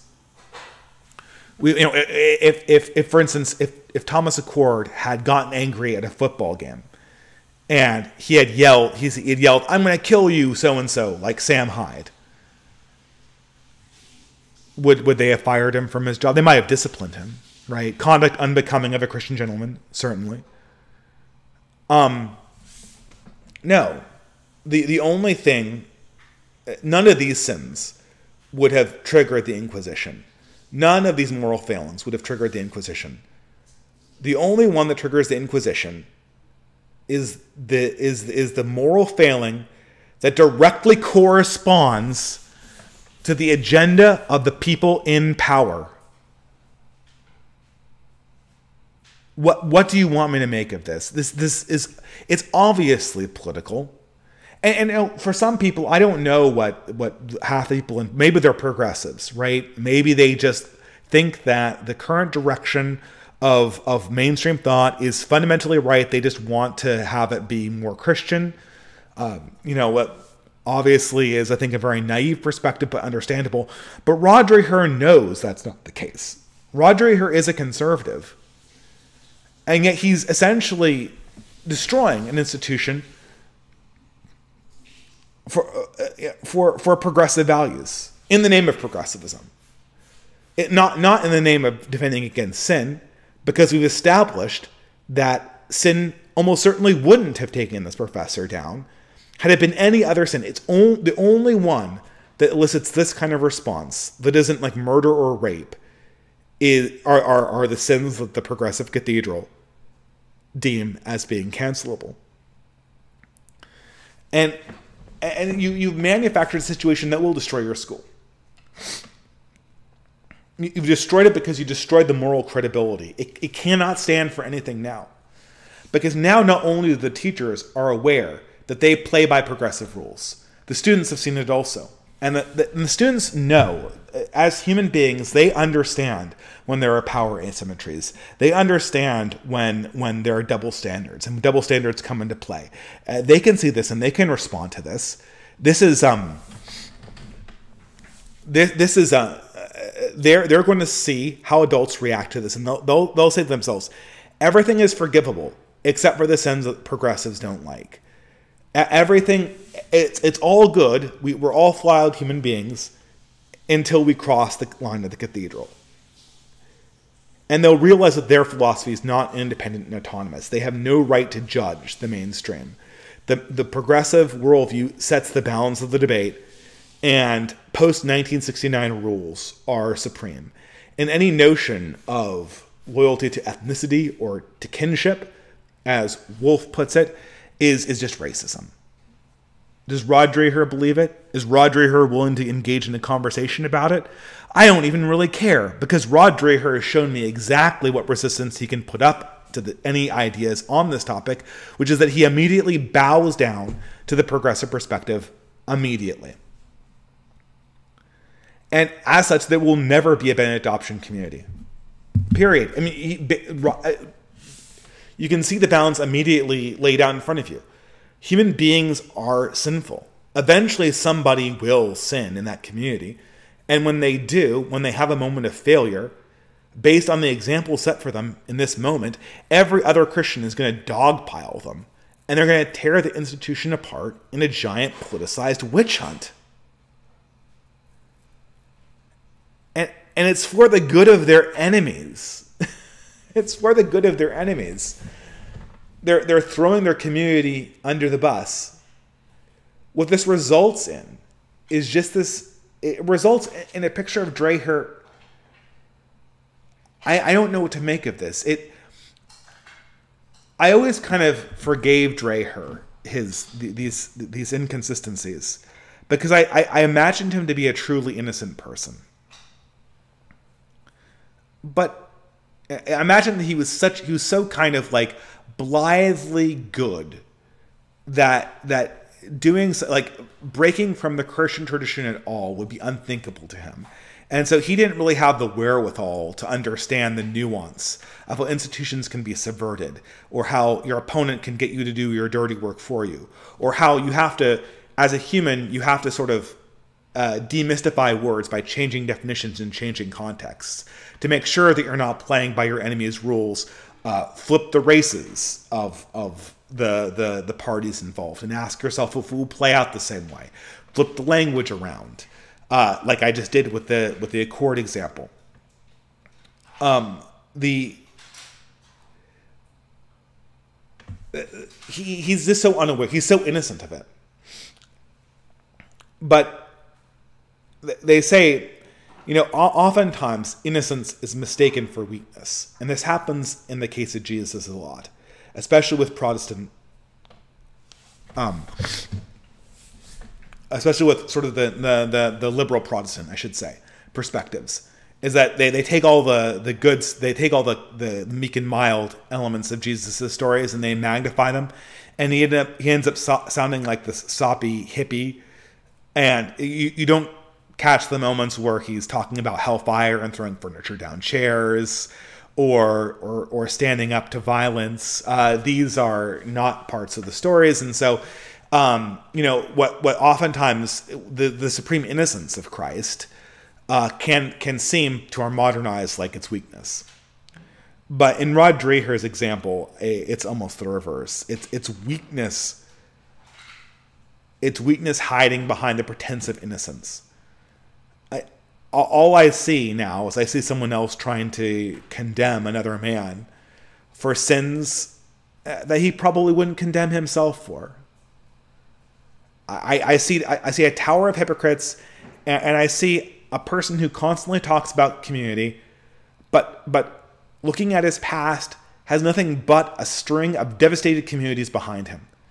Everything he participates in completely collapses uh, because he immediately folds. He does not defend, he, he does not treat his co religionists with charity. And he, he, he, he, all, all he wants is a template that he can emotionally spurg out over, you know, cry about, and then, and then kind of emotionally react against. That's not leadership. That's not strength. That's not charity. And of course, the direction of these spurgouts, the direction of these pearl clutching moments of self righteousness, are always in the direction acceptable to the middle of the road boomer truth regime. They're, they're designed to play well in prime time and to sell to a certain kind of audience. And to me, it just seems incredibly performative. I've, I've kind of rambled. I've kind of had two two discussions here. One about the sen- sensible centrism, the other about Rod Dreher and the failures of Christian leadership, but they're connected. It does not behoove anyone to fill a movement with weak men who will betray each other. That's why winsomeness failed. Winsomeness created entire institutions that fell like dominoes the moment one person started crying. And so they create a market premium for crying. If we adopt sensible centrism, I, I, if we adopt sensible centrism, I feel that we are on the same path. We are on the path of developing a bunch of people who will cave the second the frame is changed on them the second the narrative appears to be going against them. There's no space for that anymore. There's, there's no reason to believe in this anymore. The only thing that can prop up a, a proper community, online or in real life, is strong men who are morally astute and conduct themselves properly. And here's sort of the other half of the, the side of the coin. Because this this is um you know, Achord, Thomas Achord, who is sort of the victim in this process, and I do think he was a victim. I do think he got caught up in the wrong scene. He, he caught you he got caught using game words. I don't think he meant them. I don't think he was a secret racist robot wearing the skin suit of a Christian gentleman. I think that he was a genuine Christian gentleman who cared about his own ethnicity and who got genuinely angry at all the anti-white stuff and decided to meme back aggressively in turn and that that's my uh, apparently i'm giving him way more charity than his closest friends and his colleagues. But there you go. From my reading it he deserves that charity. That being said you know he he, he didn't act in the way he should have. He he he is suffering from a moment of weakness. He he he, he did not connect himself in, in the mode of of a proper christian gentleman. And you know, I, I haven't always myself I, I should I should say I'm I'm as guilty as the next person, but but at least I hope that we can catch ourselves while while doing this, uh, because just as we can't sort of use sensible centrism to to invite the world uh, and create a substrate of people who will cave on you the second the center is portrayed as having shifted, um, or the the moment the right person starts crying. Uh, we, we also can't have a bunch of radical people who, who, whose only strong element about them is their ability to fight on the internet. Uh, your ability to have moral continence. I mean, I, I was to say Rod Dreher is sort of the example of uh, emotional incontinence, but there's also something to be said for for moral continence, the ability to sort of hold yourself morally, and, and not to sort of cave into the the the latest temptation towards wrath or the latest temptation towards lust. And uh, this is sort of what creates the boundaries of the conversation here because this castle we've inherited, this this lottery winning that's been delivered to us, has been delivered in the form of horseshit, of depleted uranium fuel rods. We can use it, we can touch it, but it degrades us morally every time we do use it or touch it. So we have to be very, very careful how we deal with this stuff. We need to somehow translate the moment we have, we have about 12 months before the cathedral finds some way to lock down Musk again and, and to reban people on Twitter. You have 12 months of a microphone. You have 12 months to try to expose as much information, um, as much media lies as you possibly can and get them circulated. You have 12 months probably to start the discourses that are still possible in 2022. But at the back end of that 12 months, you don't want a huge long list of followers or internet anons or people who are there just for the drama or people who are there just because you're winsome or people who are just there because you're on the right side of history or because you're at the sensible center. What you want is to have a list of fellow allies that are solid, that are moral, and that are capable of giving and receiving loyalty. This is what this is what's this is what's we need people who are people who have their heads screwed on properly. We need people who are some uh, minimally strong constitutionally and morally. And really anything else beyond that is is immaterial because they're all numbers on the screen. They're, they're all democratic power, which is not going to be there in two years. The people who are here for this populist surge are going to lose interest by the time the wave crests. The only people who push it are the leaders. And, you know, there's two ways you can weaken yourself. You can weaken yourself like Rod Dreher and become a slave to emotions and a slave to a moral system and to a sensibility he doesn't even understand himself or apparently live out. Or or you can weaken yourself in the way that Thomas Achord did, or in the way that many people are doing uh, online when they engage with Twitter.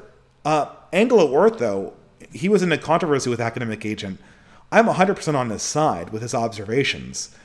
Uh, we can't be using Twitter. If Twitter degrades us to the point where we're using it for thirst posting and we're using it for cooking up drama to, to drive views on live streams, we've missed our opportunity in a major way. Uh, that's useless. And when they lock it down, that benefit's going to go away. We didn't get nothing out of the surge in 2016. What we got, what, what I should say this. What did we have after the initial surge in 2016 when they finally locked us down and they banned our accounts?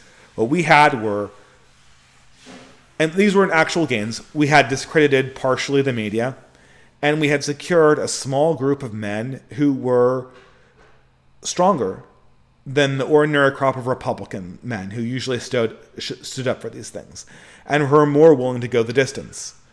And in the end, that's all we can really hope to obtain, and that we should that we should get. Sensible centrism that gives you that, but moral strength before that. And with that, I guess I'm done with my monologue, a little bit rambly, uh, but I guess a lot of people tuned in for this one. So um, anyway, I'm going to go into the super chats. Uh, the D, uh, the not D live, the entropy link is in the description. And thank you guys in advance for super chatting. Wow, very generously, uh, already three hundred dollars. Um, but I really appreciate it. Uh, I'm going to have to sell this stuff before Bitcoin further depreciates. Um, but anyway, I'm going to waste no time in going on to these super chats since I'm way over time with the monologue. Tim Hoffman for $15 USA. Hi, Dave. I've been away from the Catholic Church for 10 plus years now. Can you offer some advice to get back into authentic church life after a long absence? I feel intimidated after being gone for so long, especially since I barely even remember how Mass and sacraments work. Thanks a bunch. Okay, um, this is a good question. Um, first of all, uh, the, the the way to get back to mass is to go back to mass. I know it's it's really hard the first time if you haven't been in years and years and years, because obviously you're elapsed and you're not in a state where you're ready to receive sacraments.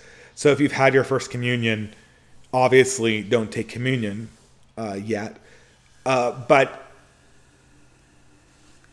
here, here's the thing. Um, you're going to walk into a random church. You're going to sit down in in in the the very piney, pine solely smelling pews. You're going to sing the hymnal, uh, and you're going to celebrate the mass, either in the front or the back. And no one's going to give you stares. No one's going to tell you to get lost. No one's going to call the police. For the first time you go, convince yourself that you're a total outsider. You've never been to church. Pretend that you're a pagan. Pretend that you're a Muslim. You're a tourist. And introduce yourself as such if they come up and talk to you afterwards. That will, I guarantee you, that will take the pressure off you. Right? And then get to know the people and then talk about returning again for another mass. Then, after you attend a few masses, start preparing your confession because that's the next step. Uh, it, it, it, I'm assuming here you've been properly catechized and gone through the sacraments as a child, so that it's, it's this is more or less the process of returning to the church, and you don't need some kind of RCIA process. But it helps a lot with this to kind of talk to people afterwards and see what they say. People will always welcome you in a church, especially, and they'll welcome you even more the more of an outsider you are. So as long as you're not like, well, this, you know, I was here when I was a kid, and it's not like how I remember it. You know, that might, but but generally speaking, it'll be very welcoming. Another thing is, ironically, the more conservative the church, probably the more welcoming they'll be. Uh, the more thick the community is, the more welcoming they'll be. Sometimes highly boomerous boomer churches, the people who show up afterwards to have like afterwards at the brunch or to talk to the priest outside, they're very cliquish, and and sometimes, um, you can um you can get a little bit of a cold shoulder there, not because they don't like you, but because they're trying to monopolize the priest's time, and because this is a dying parish, uh, it, it, you know it's a bunch of um, older people who are trying to get validated by by the the priest, and, and there's not as much attention to integrating the outsider. Uh, but but even if you do kind of get the cold shoulder, believe me, everyone wants you there in the pews. Everyone does. It's a process. Convince yourself that uh, you know that it is a process. Attend mass as if it were just a concert. You know, in most cases in modern churches, probably a pretty uh, bad concert in terms of the music. Although my wife does excellent uh, holy music, so uh, some some churches are very good, and then just work yourself through the process. It helps if you have a friend locally. It helps if you can make friends with the priest. It helps if there's someone else there, you know, your age that you can talk to and say hello to. Again, clicks oftentimes can occur, but most of the time, people will welcome you. That's my experience. So I, I hope that helps Tim Hoffman. I'm going to go to the next one. Nerve AMV Maker for $15 USA.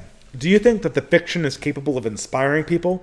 I know many on the right think this, but I'm unaware of any great historical figures being inspired by fiction. I find it hard to be inspired by an outcome of an author artificially forced. Alfred the Great was inspiring because he was real. Well, I mean, I know. I mean, you're, you're tempting me to a really easy example. Uh, Alexander the Great uh, talked about. I don't know. I, I can't remember who. I can't remember what historian said this, but he he, analog, he he was inspired in his heroic endeavors by the Iliad, and so were the Greek philosophers who, who were using the Iliad and Homer as a basic text to to motivate their own philosophical questions. Uh, now, arguably, I know that the counterpoint to this will be that, oh, well, you know, Alexander the Great thought that Achilles and Hector were actually historical people. Well, maybe. But they didn't believe in, like, the gods literally coming down from the heavens and fighting in the Trojan War. So they understood that there was a certain amount of archetypical uh, flourish, um, embezzlement to these pieces, and yet they were still inspired by them. Uh, when I think about um, World War II, uh, people were inspired by old cowboy movies like Roy Rogers and stuff like that. Uh, how many how many young children joined the military in World War II, uh, watching earlier films about masculine heroism that were entirely fictional, or reading books that were entirely fictional? Uh, fiction sets the boundaries for our existence in a real way. And th- there have been more than enough people who've been, say, converted to Christianity by, I mean, a major step on my reconversion to Christianity was the brothers Karamazov and um, Dostoevsky, which is fiction. A lot of people report having a similar reaction to War and Peace, uh, and, and, and, numerous people have been inspired. I mean, actually, mostly progressivists have been inspired. Early progressives were very inspired by by, by pieces like War and Peace. Uh, I think fiction has an incredible power that, that we really underestimate, and not to mention things like fairy tales. Tolkien is is a substrate um, for for many people, sort of rediscovering an older mode of thought, and I don't know. I mean, is it the same as I mean, obviously the person who reads Tolkien and is really taken back by this old world, this old medieval world, they'll want to go back and study the lives of, of people like Joan of Arc or um, or or you know the the person you mentioned Alfred the Great or or uh, St. Louis or uh, I don't know King King Richard the Lionhearted or any any number of these people. I list your medieval heroes here. Uh, they'll, they'll, want to study the genuine article, but th- does that mean that that the, uh, the the the initial inspiration that came from fiction is immaterial? I, I would say absolutely not. But um, thank you for the super chat here. Wow, I'm gonna have to.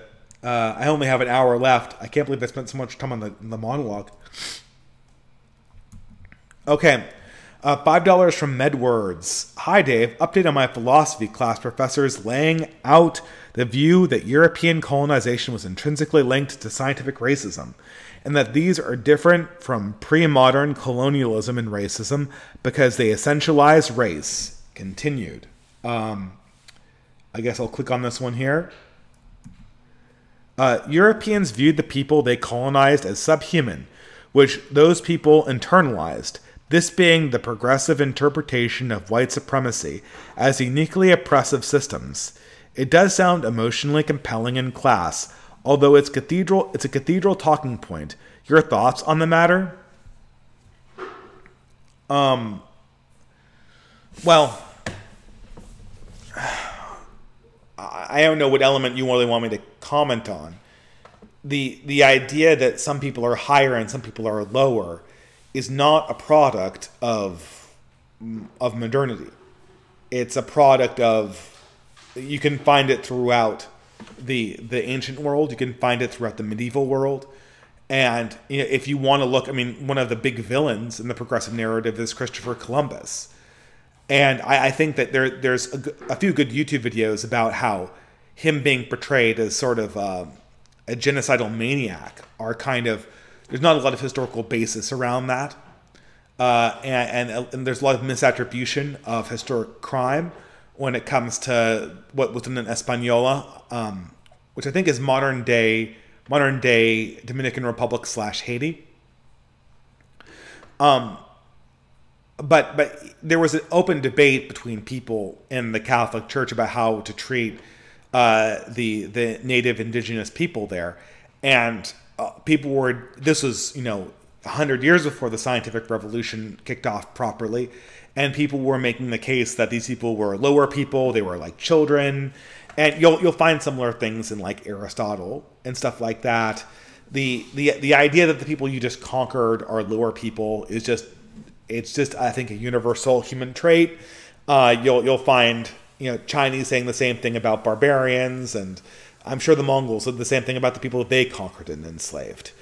Uh, the the idea that people internalized it and that this is white supremacy. I mean, I don't know. That this is what's so ridiculous about this is the way I would confront this is just sort of modify this a little bit. So, okay, so let's say, like, the, among the imperial powers of the 18th and 19th century, one that could not be discounted was the Ottoman Empire. They're one of the main contenders in the imperial struggle over the world. Maybe not one of the main contenders. They were a, they were a waning power, but they colonized a huge amount of the Middle East and a huge amount of Eastern Europe, including an area that my father's family comes from and they, they enslaved the hell out of it and they subjugated the populations and they used all sorts of racist explanations for why the Slavs and the Germans and whatnot were lower people who deserved to be enslaved and blah blah blah blah blah. Uh, so what is, is white slavery white supremacy? Is Japanese slavery of of their prisoners white supremacy? Uh, you, you, can keep on going like this. The, the the arguments that your teacher is making aren't they're not untrue. They're just half truths. They they lack sort of a unique. They the European process in colonization is being given a uniqueness that it doesn't deserve. I guess it was uniquely scientific in the later half of the of the 19th century and the early half of the 20th century. But again, that was actually eh, partially in its own decline. And the scientific dimension to the oppression didn't make it more oppressive or more brutal. In many ways, I think that the European colonists were less brutal than the colonists that directly had preceded them in the world, which were uh, sort of the Seljuk Turks, uh, the Mongols, uh, and and in India, um, what was it? The uh, the the Muslim Empire in India. I'm, I'm drawing a blank on this right now. Um, you know, the, the, people who built the Taj Mahal. Um, someone's going to correct me in this. Uh, in many ways, they were they were less brutal than those people. So I don't know. I think that the, the, the your teacher, the perspective that comes out of these uh, the cathedral, is, is it's a fundamental ahistorical perspective on human political power, and one that's being done specifically to flatter the sensibilities of progressives themselves. And so uh, those are my thoughts on it. I guess Medwards. I hope that helps. Uh, a lot of times, I don't know. A lot of times, the, these um, these perspectives are being what what they're expecting you to do is they're expecting you to go, nah, uh, the, the, European coloni- colonists didn't do atrocities. Their morality was pure as the driven soul, uh, pure as the driven snow. They were they were just good old boys who, who made the world a better place and never did anything wrong. And the teacher can be like, ho ho ho, why have this primary source they, they did do something wrong. Your own 19 year old, you know, college conservative, get to the back of the classroom. That, that's what they're kind of counting on because that's what they love doing.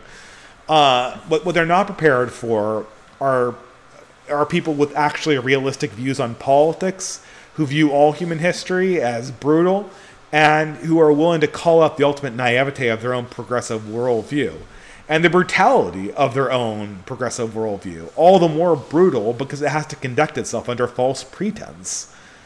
And I don't know, I, I found that much more fruitful way. And these people, I, I don't know, again, as a 19 year old, I did uh, make a fool out of myself when I came in contact with 28 year old adjunct professors who, who liked uh, baiting conservatives into standard conservative talking points and smacking them down. Uh, but but if I had been a little bit more self aware and if I had had the wherewithal I have now, it would not be hard to humiliate these people at all. Uh, they have a number of talking points, some of which are demonstrably false, and all of whose framings are really transparently half truths. If you can expose the falseness of their framing, then you can make them look stupid and not really hurt yourself much in the interim. But but in all things, look, guys, don't try to argue your professors out of their positions. Just be the eternal skeptic. Just be like, oh, I don't believe that. Be be a cynic. Be a skeptic. Adopt a pure negative position when you're engaged with a powerful person, because in all likelihood, you don't have the sophistication to argue against them. Maybe you're like a Nick Fuentes character, and uh, for for all his sins, Nick Fuentes is a, a good. He's a very intelligent person. He's very quick on his feet, and he's a damn good debater. And you know, so if you're a Nick Fuentes 19 year old, maybe you can get the drop on them. But for most people, you're going to get owned if you advance a positive position. But if you just shift into the negative, ask questions, be skeptical, and then constantly reframe, reframe, reframe, refuse to accept the moral framework or or the sort of the factual framework that's being presented to you, or I should say the, the sort of the framework of um, I want to say the questioning framework. This doesn't sound right. The, the framework of of um, how the questions are framed. If you if you constantly reject how the questions are framed and the moral framework of the conversation, uh, then you will be able to probably make a fool out of your professors, or at least not then, you'll be able to engage in a more interesting conversation and learn more yourself along the way. The progressive responses to conservative talking points don't need to be denied or ignored. They need to be integrated and they need to be confronted with political reality not with an assertion of feel good platitudes about how great the past was. The past wasn't great. The past was more human. The past was, in many ways, less uh, illusioned than their own world. The past created stronger people, and people that, if brought to our present age, would lead the world in a more productive and, and a more uh, and, and would lead humanity to more flourishing. But the past was not a pretty place and, and to kind of respond with a conservative veneer or a conservative whitewash is exactly the kind of mistake that they're encouraging you to make, and you shouldn't make it. Reject the reject the frame. Ask your own questions, and if you're really brave, maybe venture in. Um, if you have a good idea uh, what what the fight's actually going to look like. But anyway, uh, thank you for the super chat, Ben White for ten dollars. Is that being pinned? There we go. Hi, Dave. I was unable to resist my bugman tendencies and consumed a lot of Black Friday deals. Embarrassingly enough, this means that I'm no longer positive net worth. Well, it happens when you're young. Easy come, easy go, as they say, right?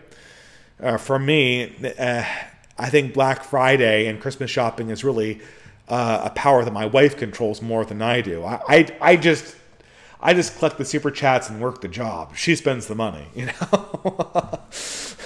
and uh, yeah, um, but, but but I'm sorry to hear about your net worth, Ben White. Besides the tragedy of losing a pickup line, I've realized that I'm not too different from the consumers that I like to make fun of. Um, yeah, I mean, we all have moments of weakness. I think in the in in, in late 2020, early 2021, I I may have uh, painted an army of Warhammer orcs. Uh, you know, now now that real world has engaged again, and and uh, I, am I'm I'm getting the politic bug again. Then uh, and and, and and things are more opened up. Uh, that project's probably go go by the wayside. But we we all have our moments of weakness, uh, Ben White. So don't don't beat yourself up about it. The important thing is is is to always kind of be cultivating the good elements in yourself. Uh, you, you'll have uh, moments of weakness. I mean, having a moment of, of sin and having a moment of weakness or indulgence are two different. A, a moment of indulgence is uh, having a moment of sin or or moral weakness is one thing, and having a moment of indulgence is another one. Um, having an emo- having a moment of moral weakness or sin is something that you really need to actively work on and try to actively obliterate because that seed will grow inside of you. Uh, having moments of sort of laziness or indulgence, um, I mean, obviously, indulgence and laziness are sins of a sort, uh, but they also tend to grow very slowly. And so the way you want to confront indulgence is to sort of constrain it, put it behind barriers, uh, delete Twitter from your phone. I'm going to do that. I think I'm going to have to do that because even being back for two weeks, I'm already feeling it get get me. My, I'm already feeling my mind get addicted to it uh, during moments when I shouldn't be looking at it, and the the the way is to, to sort of uh, create barriers around your own indulgence, create barriers around your own sloth, uh, because um, let's be honest with ourselves, and you're, you're never going to be completely free of indulgence. You might be uh, functionally free from larger moments of, of, of moral weakness. Like I don't think I I mean I used to have horrible problems with pornography but I haven't had that problem in, in years and years and years, you know, in any in any like serious capacity. And so, you know, you can actually attain functional victory over some sins, but but but lethargy and uh, indulgence in, in some consumer goods. I'm afraid I've never, other than monks and people who have taken vows of poverty, the amount of separation you need to get total victory is sort of impossible. So I think the best you can do with these moments of indulgence is to kind of keep them locked behind doors, make sure they don't expand past a certain point, and then when they get um, when they get sort of to the when they get past the line where it actually is a sin of some kind, then obviously try to confess it and, and find a way to do better. But that's my best advice, right? Um, American Covidiot American Covidiot. Uh, I like that. Like uh, a play on the the Green Day album, right? Although, um, yeah, it kind of has too many syllables to be to be really snappy, but I still like the name. American Covidiot for ten dollars USA. Hi, Dave. When it comes to Purple Caesar, how could he be moderate? Would not somebody who defeats the left need to be illiberal at the very least? Otherwise, he's just returning us back to the 90s. Perhaps this is what AA is after in his sensible centrist rebranding. Thanks, Dave. Well, yeah, I mean, okay, but what, what, how would AA, I mean, I agree with what you just said, but how would AA's uh, branding, how, how would AA's reframing of it make that problem better or not worse? It makes it worse, right?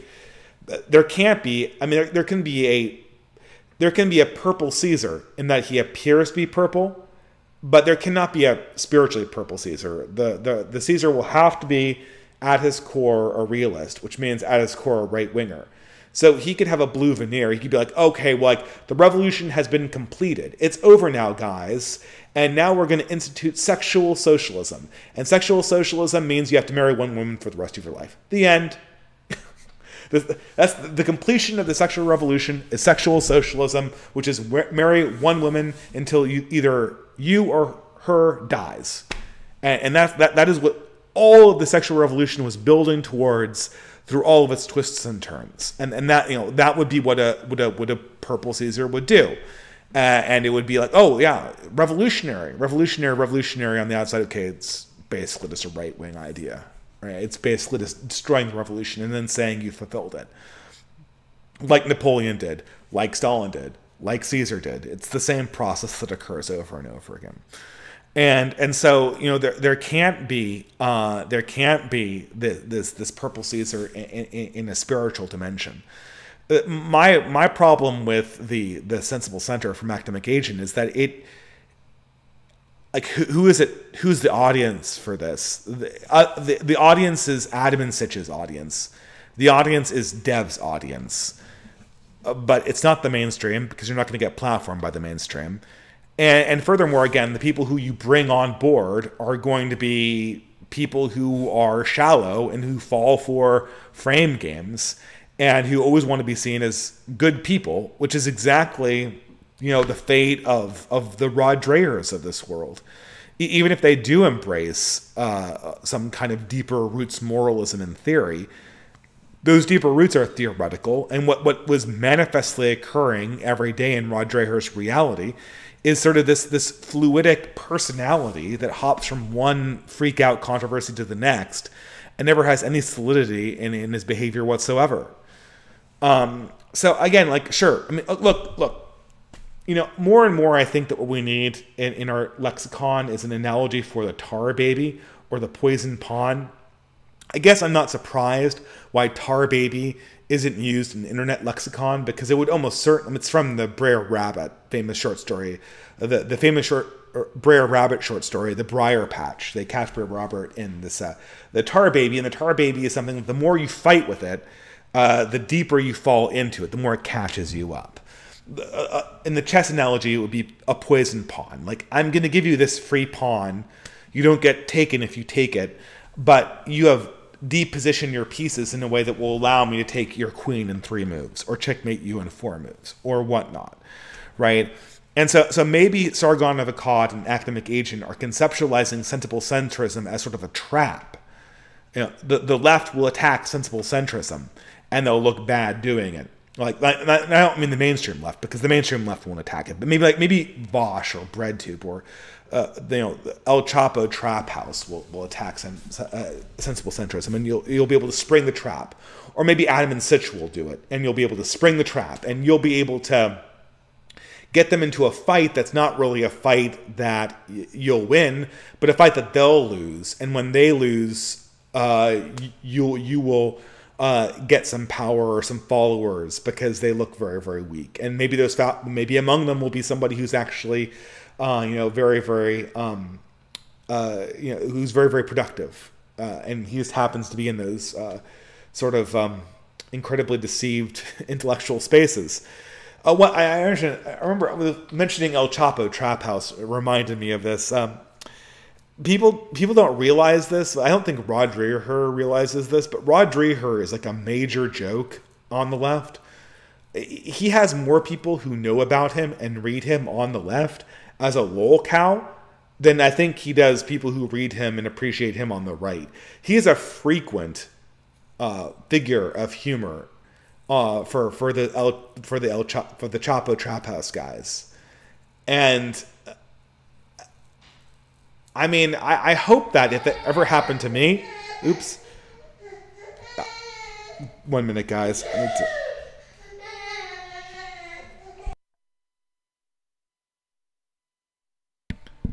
I hope that if that ever happened to me, sorry, there's interruption there. I would hope that if I ever became a lol cow to the same degree, I would kind of have the self awareness to process that and ask what I was actually doing to achieve that status. But why am I so popular as as a, as a punching bag for my enemies? Uh, think of a similar blogger with similar reach, Curtis Yarvin or Nick Land or Spandrell. Uh, nobody in El Chapo Trap House uh, wants to use them as little cows because they, they can't they, they can't make them funny. They can't make them uh, a, a, a, fun punching bag. But anyway, American Covidiot, I hope that answers your question. I'm going to move on to the next super chat. Pragmatic culture for $10 USA. Is it a victory? Sure. Is it one that allows us to seriously reframe the meta narrative of political discourse in the West? Absolutely not. AA needs some reality checks, especially before poo pooing the real system shock Fuentes and Ye have delivered. Well, I mean, have Ye and uh, Ye, for, for those uninitiated, is a uh, contraction of Kanye West. It's his preferred nickname. He goes not by Kanye, but by Ye. Uh, how have Kanye and Nick Fuentes delivered a system shock to to the mainstream. I, I don't see how they've done that. They've given them the narrative that they want. This the the the system wants a way to disqualify Trump from running in 2024, or they want him. They want a third party spoiler to come in and, and, and destroy everything. And yeah, and that's what they want. And Nick Fuentes and Kanye's antics this last week have made that objective easier to achieve, not harder to achieve. I don't know what productive role Nick can play in this environment. He's a brilliant debater. We all know that. He's a very intelligent young man. But and he can fill he can he can organize a conference. But I don't know how many second chances he's going to get platforming getting platforms from congress people if, he, if he's going to use those opportunities to to to to basically, you know, talk about mustache man and uh, and uh, mid-century Germans, which again I don't think he even believes in that stuff. It's just a joke for him. It's just a way to be edgy. Anyway, um, thank you very much, Pragmatic Culture. Uh, I do agree. Well, I mean, I don't know. I mean, the, the kind of narrative shifting Twitter can do for the right wing is that they can expose uh, factual inaccuracies at the cathedral. So if there's another scandal that involves a question of fact, if somebody is caught lying, if, uh, if a piece of information about uh, a recent virus is discovered or a recent virus remedy is discovered, uh, that can now be given almost indefinite reach by Twitter. And this breach will only get larger and larger and larger as the right wing networks reconstruct themselves. People don't realize this, but if you're a left winger who has a very, very good tweet, you get way, way, way, way more promotion uh, than a right winger does. Uh, first of all, you, you get promotion because you are literally being boosted by the algorithm. You know, I, I got Vaush recommendations, even though I didn't follow him on Twitter or look up his tweets regularly. Uh, he was just trending in politics all the time. And, and that, that was just a leg up that he got from the algorithm, even though he had virtually nothing to say. And you got, so you see, they got artificially boosted but but more than that, what they had was intact networks. They a they had mainstream leftists that would retweet radical leftists, but then again, also because they weren't getting constantly centered, uh, they, they weren't getting constantly censored. The, their their social network was intact. Uh, people they, they had long tweet change where, where where as soon as somebody retweeted something, all their more mainstream leftists would also retweet it. And, and hypocrite covers this. The problem is, is that we're going to rebuild those networks for about a year, and then in a year, the cathedral is going to realize that these are hugely dangerous to its narrative construction, and it's going to find some way to get Elon Musk out of Twitter and get the managers back in. I don't know how they're going to do it, but they're going to try to find some way to do it. And and then then you know then then the the network you spent a year building is going to be gone by the end of the month. Um, and it's just what you've it's just what you've essentially mainstreamed in that time. So so I agree with you, pragmatic culture, and I'm going to go on. Um, the new GM, the new game master. Uh, thanks for the answer last week, Dave. It cleared your point up for me. The last question on the city's subject, let's hope. Why move away from the power center when you've established yourself? Why not become a big fish in a small pond, then hop on to a bigger pond? P.S. I was 16 when I made the account. Forgive the DND reference. I when my when I was a kid, they used to call them DMs, not GMs, and I think DM got usurped by direct messaging, so they changed it. It was called Dungeon Master back in the day. But okay, uh, when I was 16, okay, um, sorry, uh, well, the, the problem with like just making it in city, like just flat out making it, is that the, the, the amount of people who get their start as sort of a young professional in cities, those that number can be very very high, because it's you can you can kind of cut your teeth on a professional career in the cities, get a lot of experience, learn the ropes, uh, maybe meet a woman because it's it's easy to meet people in cities. It's easy to meet a lot of people in cities, including women especially if you're in a city like New York, with which has a lot of women in it. Uh, it so so there's that right. Um, uh, but but there are very very few people that can they can sort of make it in the way that you're talking about. The number of people who make it big to the point where they could afford having a middle class existence with a large family in the center of the city is very, very, very small. And the opportunity costs, if you're not in some kind of weird ethnic enclave, go up and up and up and up and up as you start having kids. Uh, the amount I'm living in sort of a blue exurb of a major metropolitan area, and even in this exurb, the costs are astronomical, and they only get higher as you go closer in and I'm not I'm like I'm not the most successful guy in the world, but I'm certainly not a failure. And uh, and, and and you know, so have I made it enough? Certainly not like Musk has. Certainly not, not, not like the people who can have nine children and live in downtown San Francisco. That's impossible. So that, that's more or less my perspective. Thank you very much, uh, GM. On to Oliver Ryan for $10 USA. Hi Dave, I've been watching you since Bioshock, my Bioshock video. You and the Franklin are great. Keep it up and God bless. Well, thank you very much, Oliver Ryan. Your uh, your super chat is well, very well appreciated, and uh, the brevity means that I might be able to get to bed on time tonight. Apollo Too Good for $3 USA. Is hurdy-gurdy the instrument of the sensible center? Um, the hurdy-gurdy.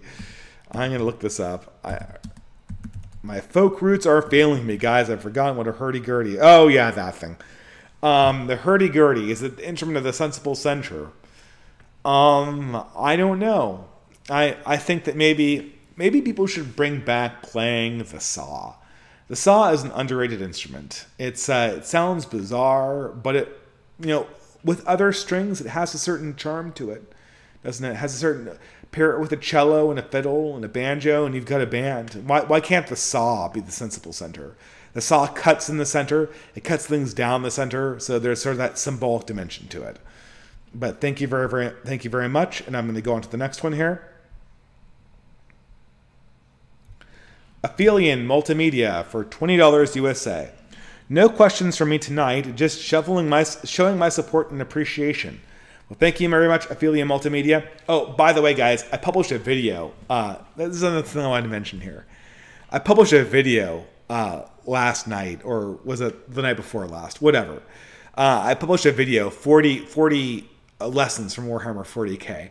And really, it wasn't a serious video, and I probably shouldn't have made it. And, it, and it's definitely, I probably won't be making videos like that ever again. But it was really more just a thought experiment because, first of all, it started out, I, I promised this video. I promised a video on Warhammer 40k. And so I had to make one. And I, I'm not, I, it was easy for me, so I did it, right? Um, harder to fulfill promises. I don't know if I can always uh, fill those in a timely manner. Um, uh, but it was going to be a tweet thread and I turned it into a video. But it was also an experiment on the YouTube algo because if I had released a top 10 list video about a nerd culture franchise in 2017, that video would have exploded. It would have been a huge video. It would have gotten like 30,000 views, maybe 100,000 easy. In 2022, a political video about a nerd culture franchise it's, it's going to do a little bit worse than this live stream. And it took probably about eight times the amount of time to make. So, uh, yeah, that's why you're probably not going to get more videos like that. I think Academic Agent is right. Videos are, are sort of signposts. They're when you have an idea and you want to share that idea. Boom. Like, this is my new idea that I'm trying to mainstream into the conversation. Uh, it's not for sort of just ruminations or for nice little kind of clickbaity fun time info information or, or, or little lessons re- encapsulations of political lessons in the language of warhammer 40k as my video was iron duke 99 for $3 usa i don't know milo or fuentes who decided to sabotage i don't know if it was milo or fuentes who decided to sabotage trump but fuentes ain't stupid enough not to know what's going on uh, yeah. I mean, though Iron Duke, ultimately, it's not going to make a difference. I don't think anyone's going to remember this in like a month. And the election for Trump is a long way away. And I don't think that Kanye West is going to be large enough to be a spoiler. I don't think Milo and Nick can pull it off. But it was a it was a macrocosmic uh, loss for the right. And the only people who won were the people who were trying to generate short term clout for themselves, namely Milo Yiannopoulos and Nick Fuentes. And I mean, yeah, that's really a great symbol when your leaders prefer short term clout over long term political gain. Uh, even though I think that the the the the, the long term impact is probably going to be pretty minimal. Um, so is the clout, but you know that that's where these people are, and I don't know what to say about these people. I I, I frankly don't even understand why people um, think so highly of them. but but I can't argue. Do not argue with the logic of Zoomers, for there lies madness, people. Dakar for three dollars USA. What does the Catholic, what does the cathedral wish young men thought about, uh, thought and aspired to? What does the cathedral wish young men thought and aspired to? Well, that's obvious. Uh, the, the, the, the, the, the ideal version of the young white man, or the young man generally, has already been bestowed to us in this blessed year of our Lord 2022.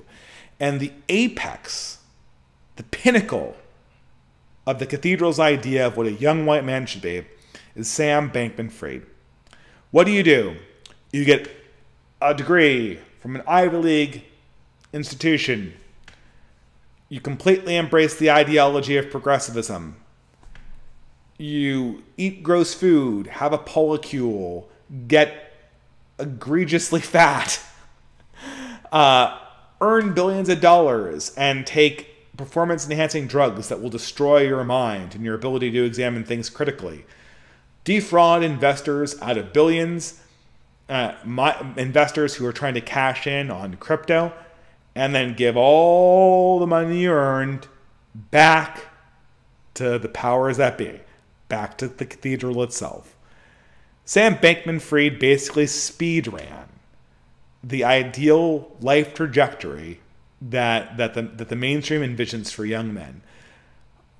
Live gross, die young, make a beautiful corpse of a company with lots of liquid capital that can all be bequeathed back to the powers that be to keep the cycle going on for one more generation, guys. That's the vision. And um, if you can't live up to the majesty of Sam Bankman Fried or you know, you, you, think that that might not be the most uh, that might not be the most rewarding or the most edifying fate of a young man, then I'm afraid you're a thought criminal and you're a racist. That's racist. It's racist not to want that, guys. Uh, and, and Rod Dreher probably is here to tell you that uh, if you objected that too colorfully, uh, you know, we, we, need to, we need to have an anti-white supremacy inquisition uh, destroy all all of our uh, alternative Benedict op- option institutions that might push back against that narrative. But but there you go. Thank you very much, Dakar, and I'm going to be going on to the next one. Creeper Weirdo for five dollars USA. I get what academic agent is trying to do. Still, for me, I don't want to be sensibly centrist. I want to be a red America, a traditional American with a deeply religious I want a red America, a traditional America, and a deeply religious America. Centrism now seems like we're just giving up on the community we are building. I mean, also just it's just not what we are. We are people who are radically out of sync with what the mainstream says. It's obvious we're out of sync with what the mainstream says. We should wear that as a point of pride. And I, am never going to call myself a centrist. What's the point in that? I'm obviously not. Eh, I'm obviously not a centrist. I'm obviously not a mainstream person. And I don't know. I mean, again, I, I, I, I try to think of the person who's going to be. I understand the people who might be able to be baited into a, a, a, a debate sensible centrism. I don't understand the person who's going to be genuinely wooed by it or who's going to find that genuinely compelling. So, I, uh, I, I can't say I, I'm very impressed by it myself, but maybe it'll be a giant tar baby for the left, and they'll they'll just uh, they'll twist themselves in knots trying to digest a, a sensible centrism. All right, uh, Travis for three dollars USA. The Senate has passed the new same-sex marriage bill and there are fears that it will give further a substantive basis against religious groups. What are your thoughts on the future of this matter? Um, well, I, I would assume that they're going to pass that they're they're going to pass this um, bill. They're going to pass as many bills as they want, and they're going to take religious institutions to court over the problem of gay marriage. And I think that for the time being, they'll probably lose in the courts. Uh, but if they don't lose, then just refuse to participate. Refuse to participate in anything involving uh, this LGBTQ stuff. And, you know, if, if it's illegal in your country to protest against it, just walk away. Don't give any effort towards this stuff. it, it, it's it's a useless waste of human potential. And every time that you participate in something that involves it, you're wasting your own life, and you're degrading yourself from participating in it. So you have to walk away from the fake and the gay at all times. And uh, and and th- there will be other people who do the exact same thing because this stuff is transparently soulless and forcing it down religious institutions throats is going to be i think it'll be a moment of truth i really do we just can't as christians we cannot be led by people like rod dreher anymore. I i can't emphasize this enough. It's just what what the hell are you supposed to do with this stuff? It, you know, let, let's let's purge the community we created for for progressivism's leftover ideology.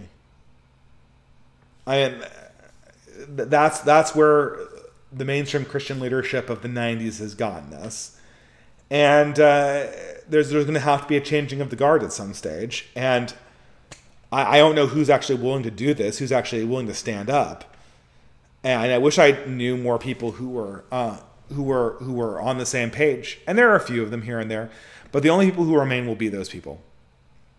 We we can't rely on legislation not being passed. This is one reason why living in a blue area is can be helpful sometimes, at least temporarily, is that it kind of it kind of teaches you modes of living uh, that are inside an area where progressives are already victorious. And as such, you kind of build up an immunity to it. I find once once you're firm in your beliefs and you're you're you're in you're, you're in contact with other people who are firm in their beliefs, you build up an immunity to this progressivism bullshit, and and you're able to go your own way and function inside the larger uh, larger apparatus more or less unharassed if you play your cards right but I hope that answers your question, Travis. Um, going to go on because I've got a lot of super chats. How am I not halfway through them already? I don't know because I'm already coming up on time. Pragmatic Culture for $5 USA. Nick loves Trump and has affirmed so several times. If you or others want to GQ post about a PSYOP or supposed smear job, so be it. Um, well, correct me if I'm wrong, Pragmatic Culture. Uh, wasn't um are aren't isn't isn't that group after meeting with Trump now proposing a third party run for Kanye in 2024? Was that not part? I mean, I'm sorry. Maybe I'm wrong about this. I apologize if that's misinformation. I kind of have been not paying attention to this a lot. But uh, if they're running against Trump, they're not supporting him. And, and maybe Nick Fuentes loves Trump, but why why are if you love Trump, then why are you putting him in a room with somebody who's currently incredibly toxic for most mainstream appeal? I mean, this, this is I mean, Trump isn't an intellectual. Trump isn't supposed to be creating the Benedict option here. He, he's not trying to forge a separate intellectual space. He's trying to get votes. And to to create a big photo op where he's with you know th- three figures who are entirely hated by the mainstream. Uh, I don't see how that helps Trump at all. Uh, what what did it get Trump? For from it seems like nothing as far as I can figure out. I know it lost him. Cultist of Niggurath. Yes, the black goat of the wood with a thousand young. For me, the introduction of the Pri- uh, Primaris Marines marked the beginning of the end of Warhammer 40k. Well, that is absolutely the case. Yeah, I mean, the the prim- uh, for those of you who are not aware, uh, Warhammer 40k is a uh, it, it, depicts a technological dark age that's gone on for 10,000 years. And at some point, they because they wanted to sell more miniature games, Games Workshop decided to create a plot point where there actually was a technology increase inside the Imperium, which completely subverts the entire premise of the universe. If technology can be invented in Warhammer 40k that is superior to the technology at the beginning of the Dark Age, then they're no longer in a technological Dark Age. They're in some kind of weird renaissance, which means that the entire uh, feeling of the universe is somehow off kilter. Uh, now technology comes online as a solution to problems as as opposed to being part of the narrative constraint itself. And so the, the Primaris Marines uh, subverted a core element of, of, of the setting.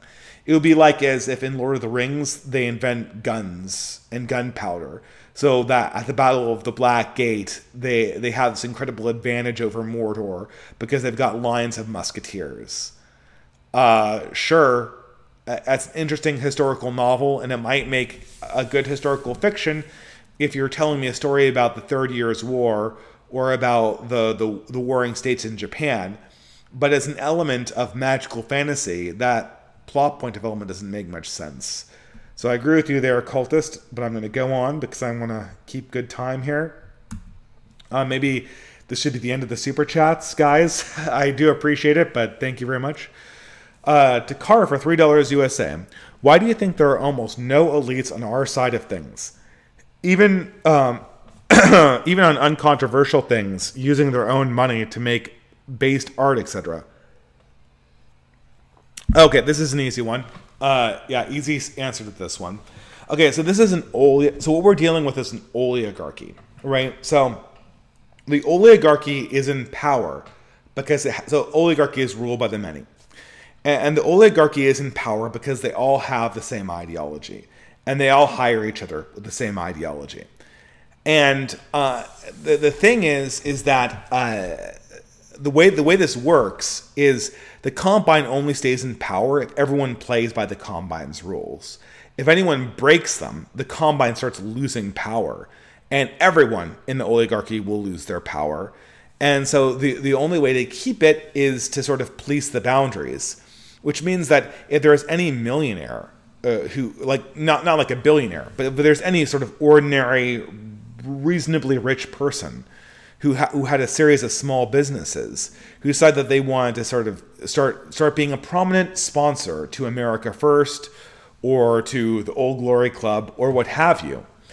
Uh, the rest of the oligarchy would immediately come down on that person like a ton of bricks for for for their thought crime because their breaking rank would threaten the power structure of the rest of the oligarchy.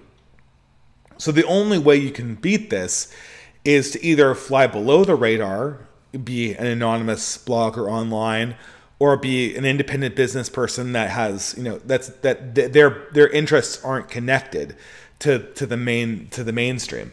Or you can fly above the radar like Elon Musk and Peter Thiel, where you're, you're just so successful that you have fuck you. Not not only do you have fuck you money, you have fuck you capital. So your money keeps on rolling in regardless of what the press thinks. So you so that's the reason why there are no elites is because if, if there were conservative elites, they would have lost their position by now. Originally, in the 1990s, the reason why there were no conservative elites was that there were the, the conservative movement uh, the, the, the colleges went hard left and opportunities started drying up for conservatives in liberal arts because it had become entirely ideological. And the conservative movement had relied up until that point to, to farm a, a, sort of separate intellectual space, and not a completely equal one to the left, but but somewhat equivalent, right? Uh, there, there would be like lots of conservatives coming out. There would be you know, conservatives. Would there be like thirty percent of the staff would be conservative at, at a given university, and then in the '90s it went from thirty to one, and then to almost zero now. And um, and, uh, so so in the '90s and in the 2000s it was a question of pipeline. At this stage, it's a question that the, the, they actively purge, the oligarchy actively purges thought criminals because thought criminals are are are make the entire combine's political formula not work anymore. Because if you can break rank with a narrative, why can't everyone break rank with a narrative? And pretty soon we don't have a narrative anymore. And pretty soon everyone's just fighting for their own beliefs. And that means that they're no longer an oligarchy anymore. And the entire thing collapses. So the, the interdependence of economic de- relations is what made this sort of a possibility. And then the relative ability of progressivism to outcompete and monopolize the public space is what made the situation uh, essentially essential to how the modern world functions. But thank you for your question, Dakar, and I'm going to go on. Uh, Talius Hammerfist for $100 USA. Wow. Hello, Dave. Thank you for always giving a unique and honest perspective on issues of our day. Do you believe punching right is inappropriate or to be avoided? If so, how do you distinguish between when to punch right and when to distance and separate from a position or entity? Excellent question. Excellent, excellent, excellent question. And I've answered this many times. It's excellent because I got an answer for this one. But I mean, okay, so I mean, we can take the example of of um, what was that guy, uh, Thomas uh, Achord. Uh, what the whole Rod Dreher uh, controversy erupted over this week. Thomas Achord did something that was definitively wrong. He did not conduct himself in a civilized manner or with the the reservations we would ordinarily ask uh, of a Christian gentleman, right?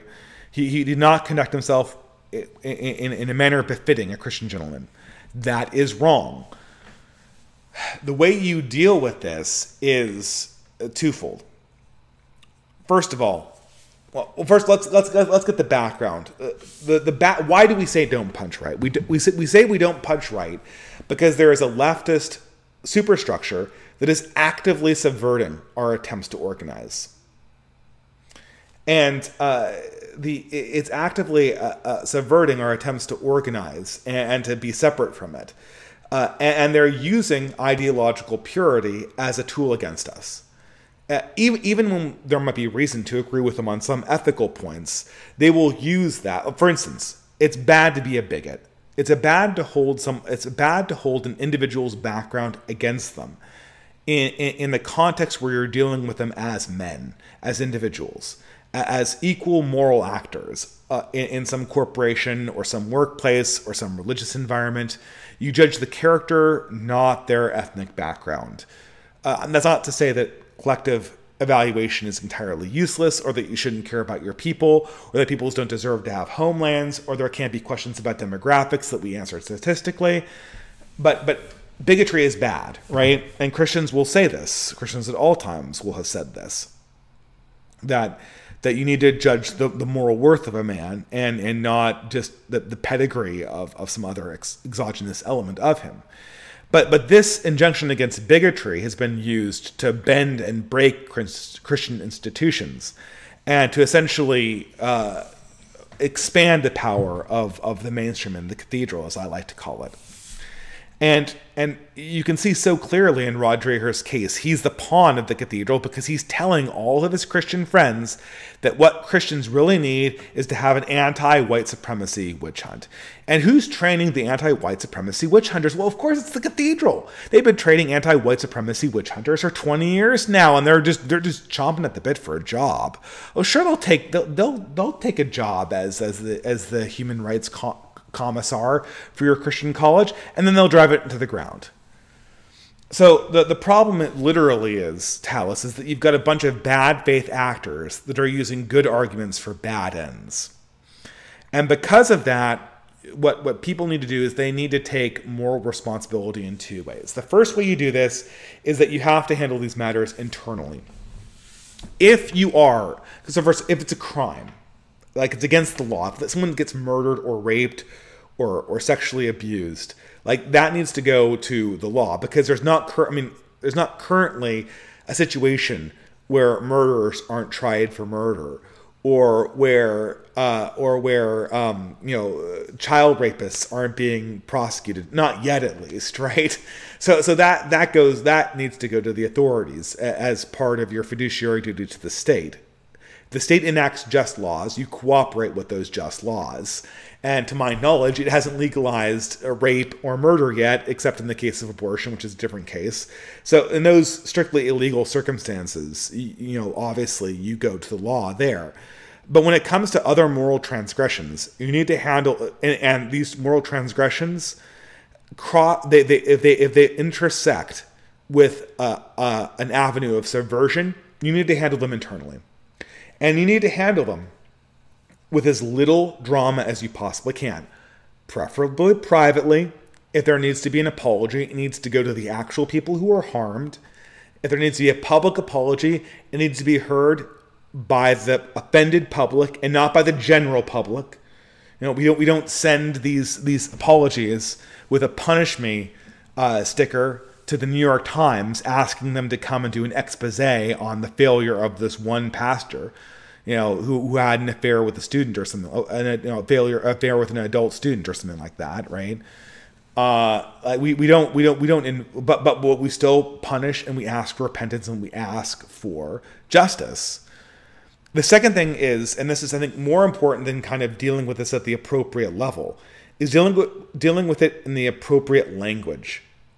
Uh, I had this list, this this Twitter thread that I probably should have used as my experiment of turning Twitter threads into videos, other than rather than the Warhammer 40k video. I had this uh, Twitter thread called um, "How to Identify Friends" or "Friends" as they're called, which means an online friend, friend with no um, uh, just F R E N S, um, friends. And, and, one of the things I say in, in that tweet thread is. Friends do not hop on cancellation bandwagons.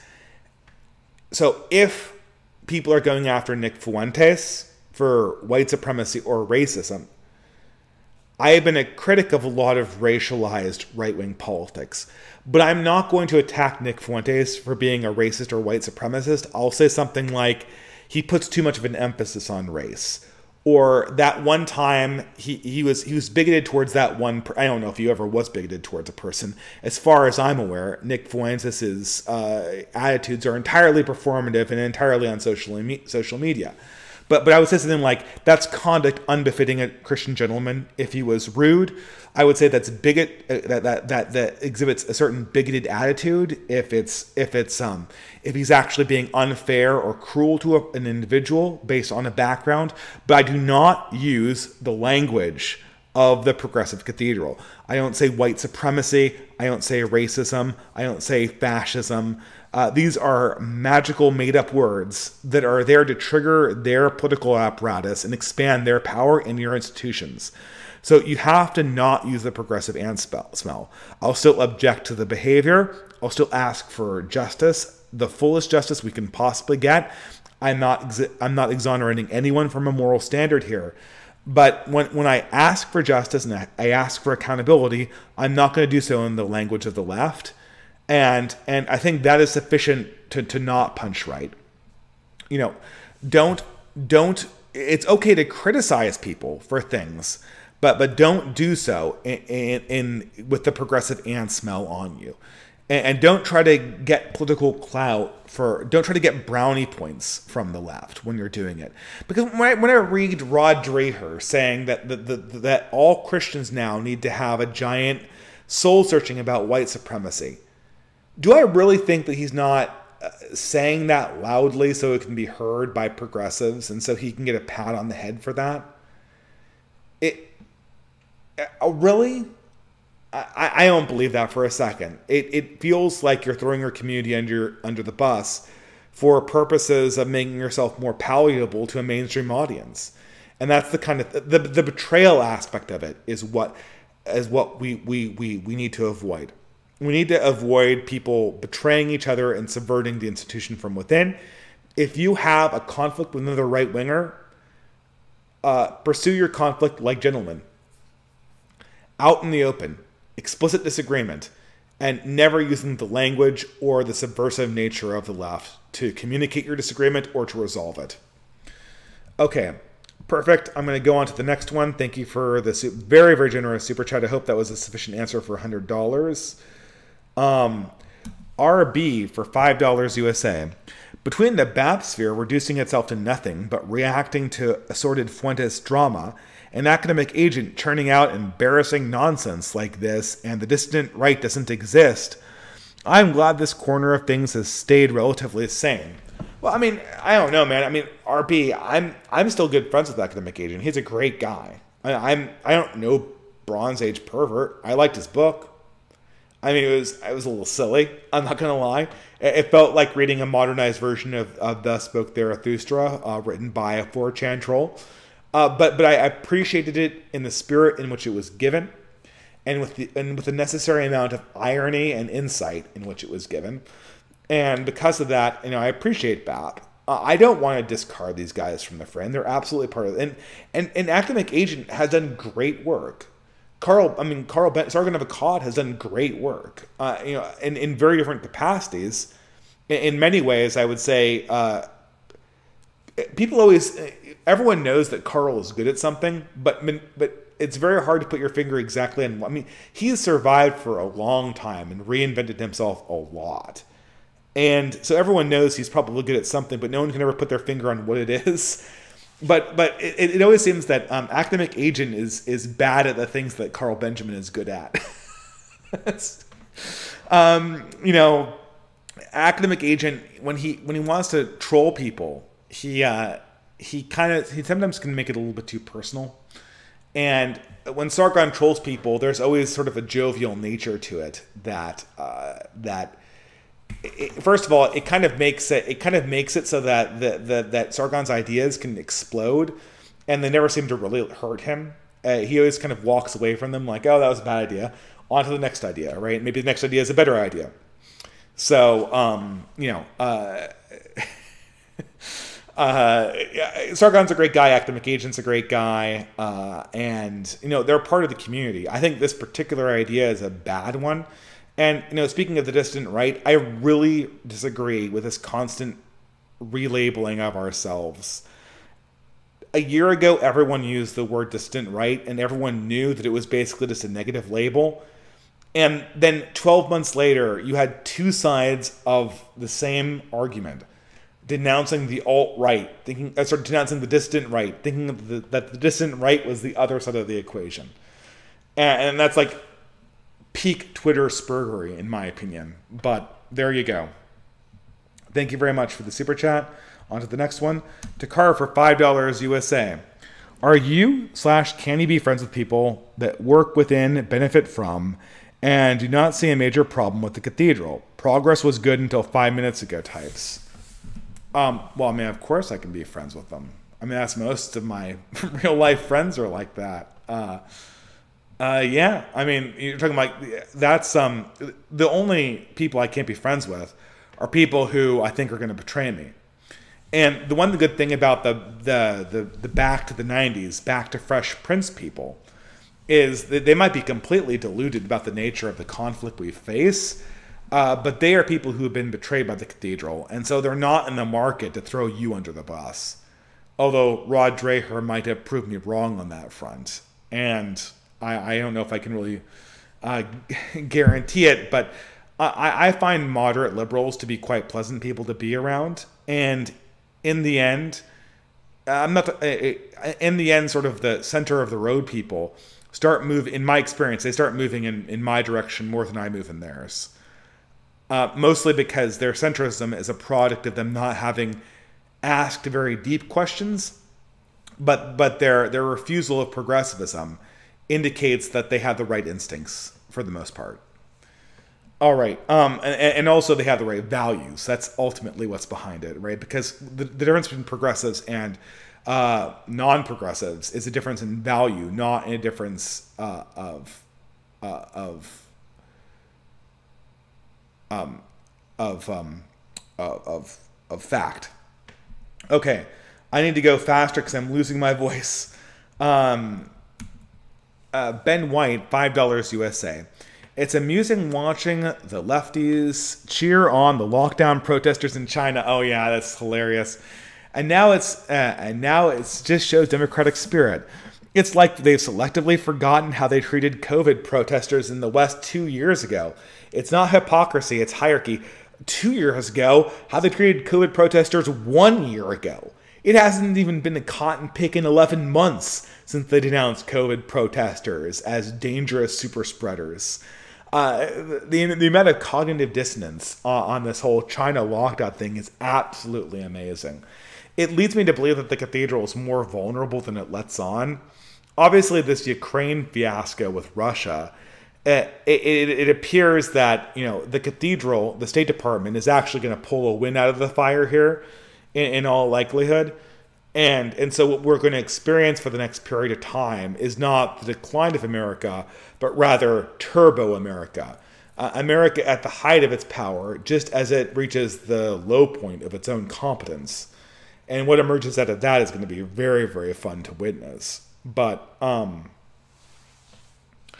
uh, yeah, that's, uh, yeah, I can't, I, I, Ben White, I totally agree with you. I, uh, what, how does this, this is, this is one of the reasons why the leftists can't handle dialectics anymore, is that there is just no ability to, to process, uh, unless they completely control the framing of all debates, the cognitive dissonance just becomes so clear at every level that it's impossible to embrace anymore. And and so we're in the position we are right now. I mean, uh, sure, you know, twit maybe can Twitter can you do discourse on Twitter? Can you do dialectic on Twitter? I don't think so. But but if if if you could, like if you, if Twitter could lead to that the way it did in 2016, it would be a major blow against the mainstream media and the mainstream narrative.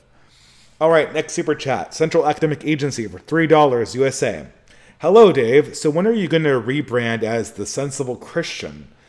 Oh, oh, God, that, that sounds like the that, that sounds like straight from the winsome handbook of, of 1990s evangelical Christians. I, I really don't want to throw evangelical Christians into the bus. I feel like I'm constantly just what do you call the people who do this though? What what do you call this kind of of uh, this very this, this very prominent, very specific culture of Christianity that that, le- that lives in the margins of Blue America and mainly in Red America?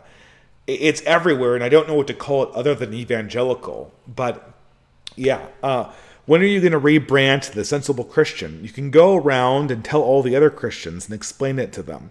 But before you do, uh, you have to hurl insults at them first. uh, well, we really are taking a playbook out of Academic Agent's Twitter account here.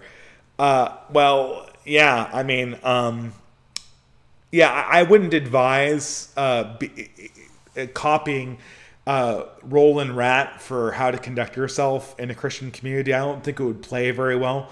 I think you'd have some problems there. So keep that in mind. The sensible Christian. Ugh, good lord. But thank you very much, Central Academic Agency. I'm going to go on here. Dakar for $5 USA. I wanted to ask you 10 more questions, but I'll have to leave it at that and say thank you. I benefit enormously from your insight, and your back catalog has aged like fine wine. Well, thank you very much.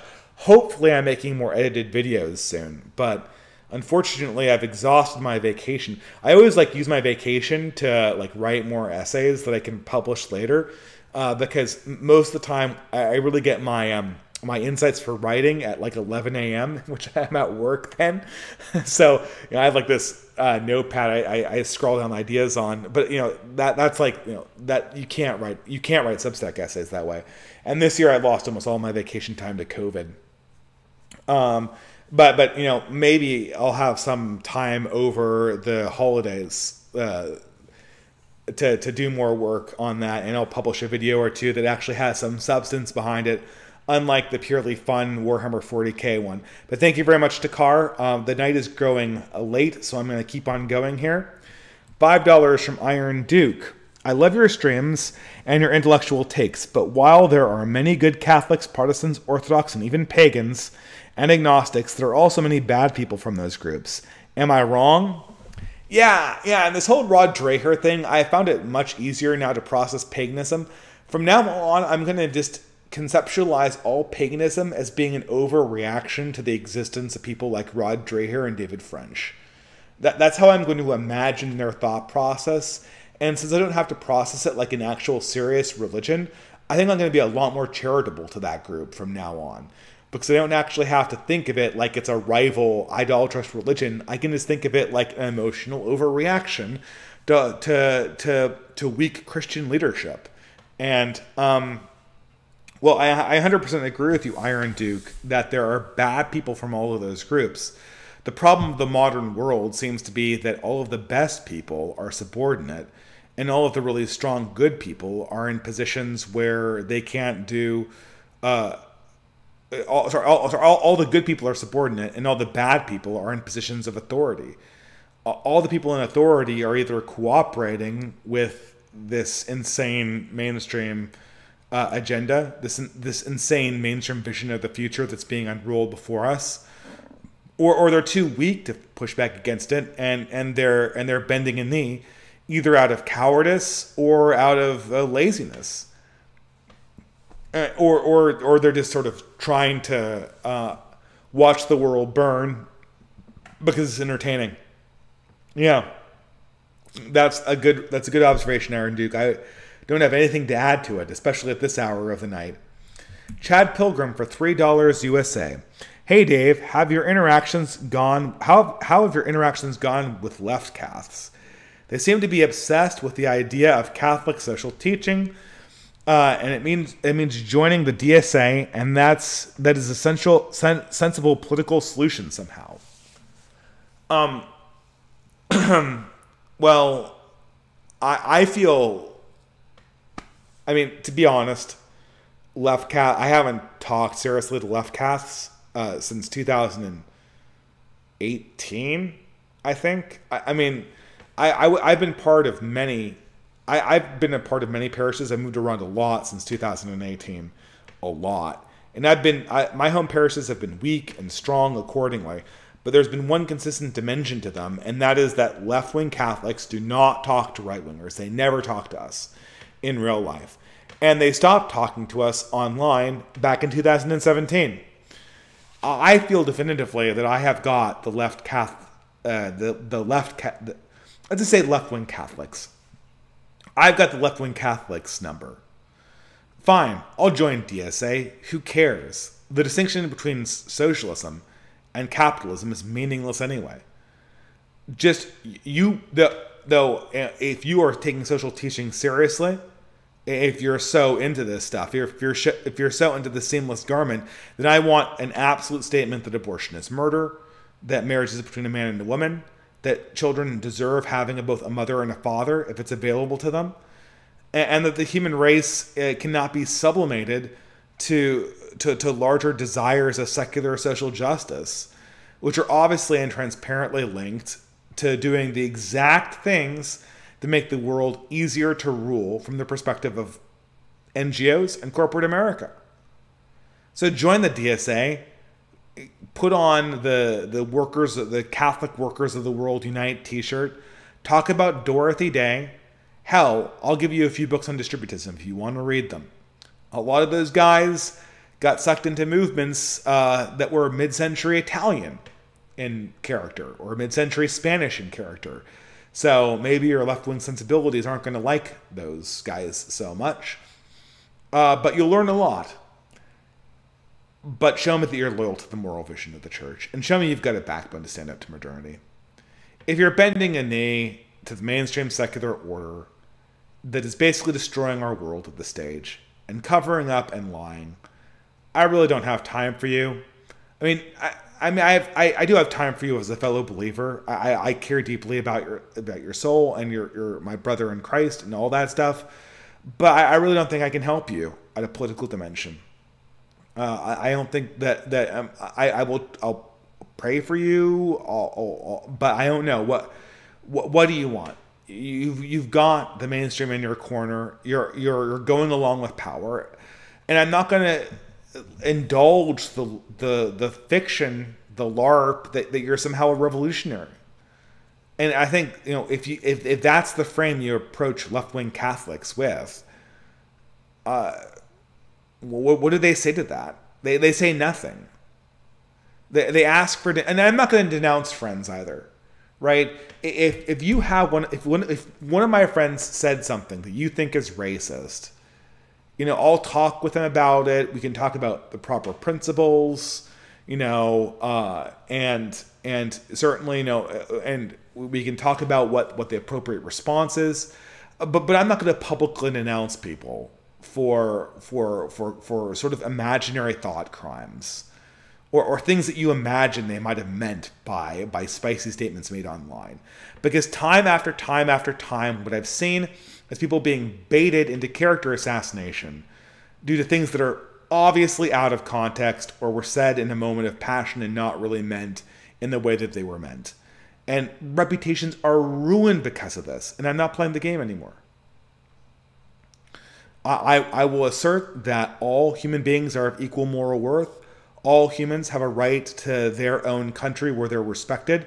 Not necessarily their own nation, because I think that's impossible. But they but they all have a minimal right to determine the course of their culture and their proper stewardship of morality and good governments inside their own community in an ordered and godly fashion. And in the pursuit of that, I will defend the dignity of all people. But that's where the conversation really ends. Unless you can come up with something more substantive than a witch hunt, which is all they have to offer at this stage. All right. Sean Horton for $10 USA. You have said just last week, I believe, that Christians are years behind the curve and respond to the present as if it were five to 10 years ago. Why? I agree, but I don't understand the cause. Uh, it's locational. It's because uh, they they don't the. it's not all Christians. Like if you go to urban areas, like Orthodox Christians, because they come from urban areas, tend to be a little bit more with it. They understand that that that they understand what the game is because they're from urban areas, and Catholics to a young Catholic communities tend to be more aware of these things as well. Uh, but but really the, the, the problem lies is that the base of their political support is in red America. Now I want to emphasize this because it was misunderstood last time. I prefer red America to blue America. I feel like Rhett Butler from that famous scene in Gone with the Wind, where they're all prepared. Uh, Fort Sumter is just about to be attacked, and they're all discussing the possibility of entering a civil war against the North. And Rhett Butler is saying like, you guys are going to get tooled by the union because they've got like five times as many guys as you do and 20 times as much industrial capacity as you do, and you've got no chance. And the Southerner is like, Are you saying that a Yankee can whip me? Are you saying that I'm a coward? And no, like I'm on your guys' side. But the, the reality is the technological advantage is with Blue America. And only and, and the technological advantage is in many ways mimetic and so oftentimes you you have to kind of engage with with blue Americans to understand where they are psychologically. Uh, with, with red Americans, I think red Americans will always understand blue Americans more than the reverse. Red Americans understand blue Americans more than blue Americans do but but blue Americans can afford to not understand what red Americans think because red Americans won't be able to impose anything on them. Uh, red, red Americans need to have a much better model of the blue mind uh, than they currently do. Uh, they, they need to have the kind of understanding of the blue American mind the way that uh, some Jewish communities had a model of the Gentile mind in the 18th and 19th centuries they need to know it better than progressives know it themselves. And so they end up just misunderstanding a lot of things that are going on. Uh, right now, it, the, the conversation is not about how can we make Christianity better or how do we come up with a compromise. Right now, Blue America is discussing political possibilities for crushing and ruling Red America and crushing and ruling Christian America insofar as they can pull it off. That's the conversation that they're having right now. And Christians' role in this is to be as hard to smash as possible. To be, you know, to kind of put put on the same kind of front that I that I described with people coming after me for cancellation attempts. Lay out the truth and then say, okay, do you want to have a bite of this fight? And and most of the time they don't because most of the time they're cowards. And, and ultimately, I think Blue America's laziness will be its undoing, and its inability to morally motivate itself will be its undoing. I, I can't guarantee that, but that's my instinct. And but but that's the battle we're fighting. Uh, we're not fighting a battle like uh, how how do we integrate how how do we come to a moderate centrist position on the culture war so that we can all be good Christians in one sense or another that's just not the conversation. And uh, I think it's mainly geographic, the reason for that distinction, or reason for that mistake. Cringe Walker for $5. Man, train wrecks his own marriage, claims to know how to govern a church, many such cases. Yeah. that's just I, I don't know what to say about Rod Dreher. I really don't. I mean, he was so formative in my own development as a Christian. He was so formative, and I, I loved his early books. Uh, and and I don't know. I mean, it just it you, you he he if if he had a kind of blithe if it was blithe innocence, then it would be almost tolerable. But I, I don't know how to process Rod Dreher, the uh, anti-racism witch hunter.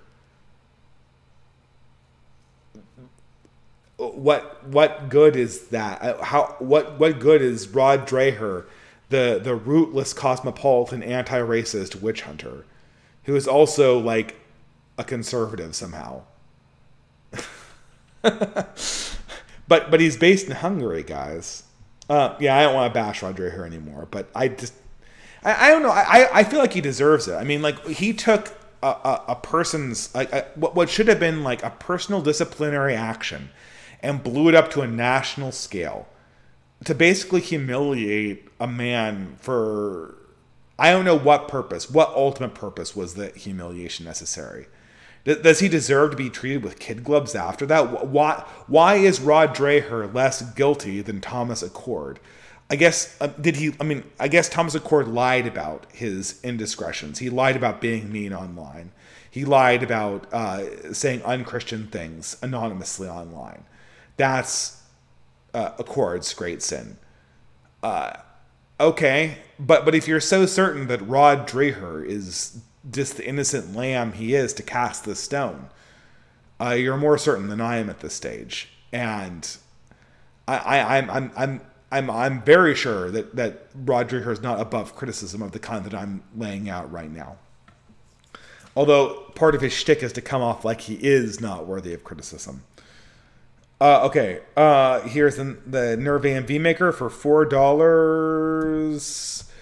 Conquest's fourth law of politics should be that one is always more opposed to someone on their own right uh, than they are to anyone on their left, no matter how far to the left they are from them.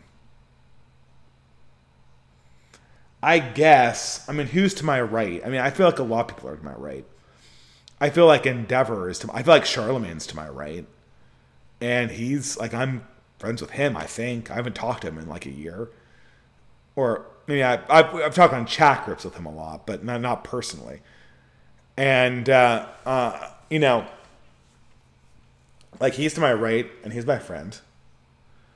I, I mean, generally, it's it's it's just it's easier to punch because of conquest's first and second law. It's always easier to punch right than it is left because history naturally moves to the left. If you punch left, there's a possibility that in 10 years you'll be punching yourself. And so there's always a suspicion when you look at people on your left that what you are now is what I will become in the future. And because of that, no one wants to punch left. Punching to the right is easy because most people, you know, most societies, except in, in times of crisis, don't move to the right in any meaningful sense. So that's probably the origin. It, it I don't know. That fourth law is too situational and too derived from the uh, the the other the other two to be a, a proper fourth law or Van B maker. You're constructing a dependent axiom, as we say in the math business. So I think I'll keep I'll keep my laws at three. Uh, but I appreciate the sentiment. It is uh, in in certain circumstances true. Uh, Sam one five three support for the monologue. Cheers, Dave. Well, thank you very much. Uh, John Leo Ginned for $3 USA. To add Nerve AMV Maker's question of inspiration by fiction, I can name quite a lot of top and champion boxers and MMA fighters who took up the gloves because of action anime. I thought you were going to say because of Rocky. But yeah, that's, I mean, I don't know action anime. Is that just a genre of anime or is that a title of a specific anime? Uh, I mean, I guess in the world of Otaku no video, it might literally be a title. Anyway, uh, the the uh, the the question uh, okay yeah yeah i guess I, I know people who for instance i know people who who went into sports because of rocky. That's a great example right? Uh, yeah fi- people being inspired by fiction happens all the time.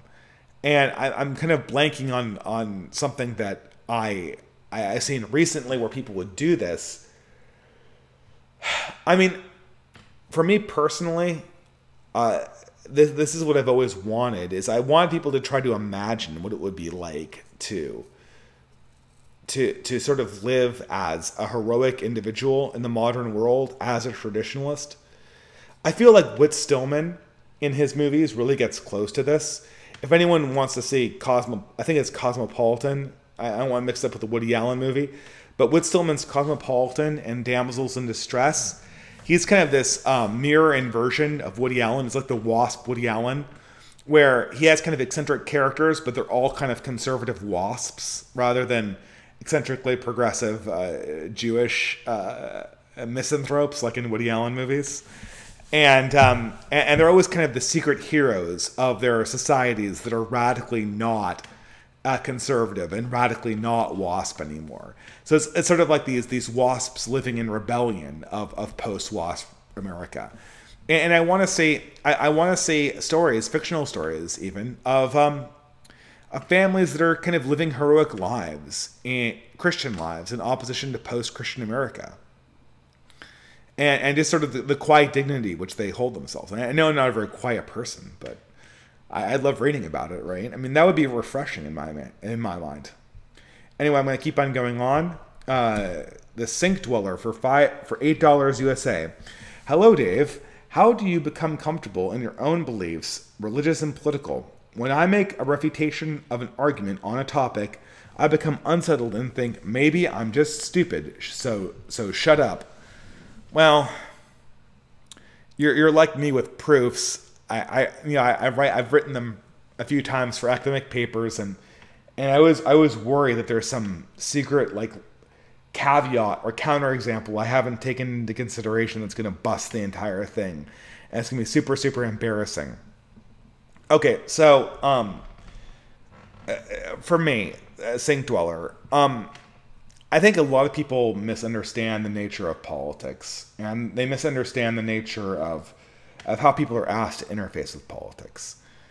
Uh, the most important thing about your political views is not some derivation or some line of logic that you've started.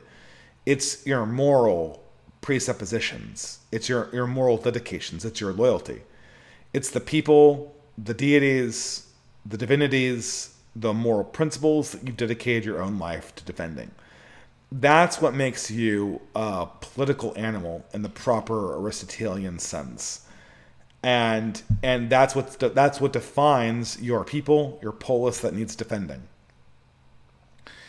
Everything else is really sort of superfluous. Uh, the what, what what moderns have taught us to do is to to sort of embarrass people. And this is what New Atheists did a lot is that they would they would they would create these syllogisms and these analogies that were sort of humiliating for progressive for for for sort of progressive Christians or from Christians from a red state background who are encountering sophisticated ideas for the first time in their 20s in blue areas. And people got humiliated and they were they were this temporary humiliation was used to dissuade them from principles that were really not that, that they were they were axiomatic or should have been considered axiomatic to begin with. Uh, my favorite example of this, obviously, there's the flying spaghetti monster. But is anyone uh, anyone aware of like pictures of Jesus that are going around? Like this is what scientists say the picture of Jesus actually looked like. And first of all, we don't have Jesus's body, so how would we know what his his face looked like? Right?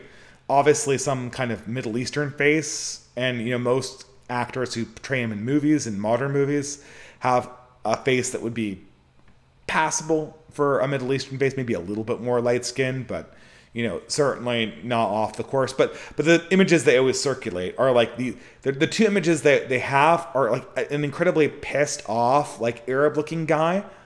And, and you can tell uh, he, he looks deliberately evil because they make his eyebrows really, really low and close to his eyes and they give him this weird slipping forehead and this scowl. And then the other image they circulate is is this like really dopey looking guy. Like, he has this like dopey looking fat face, and um, you know, and and what and it's what's so funny is that it, it couldn't be racial, right? Because the the images they're, they're both sort of passively Semitic faces, right?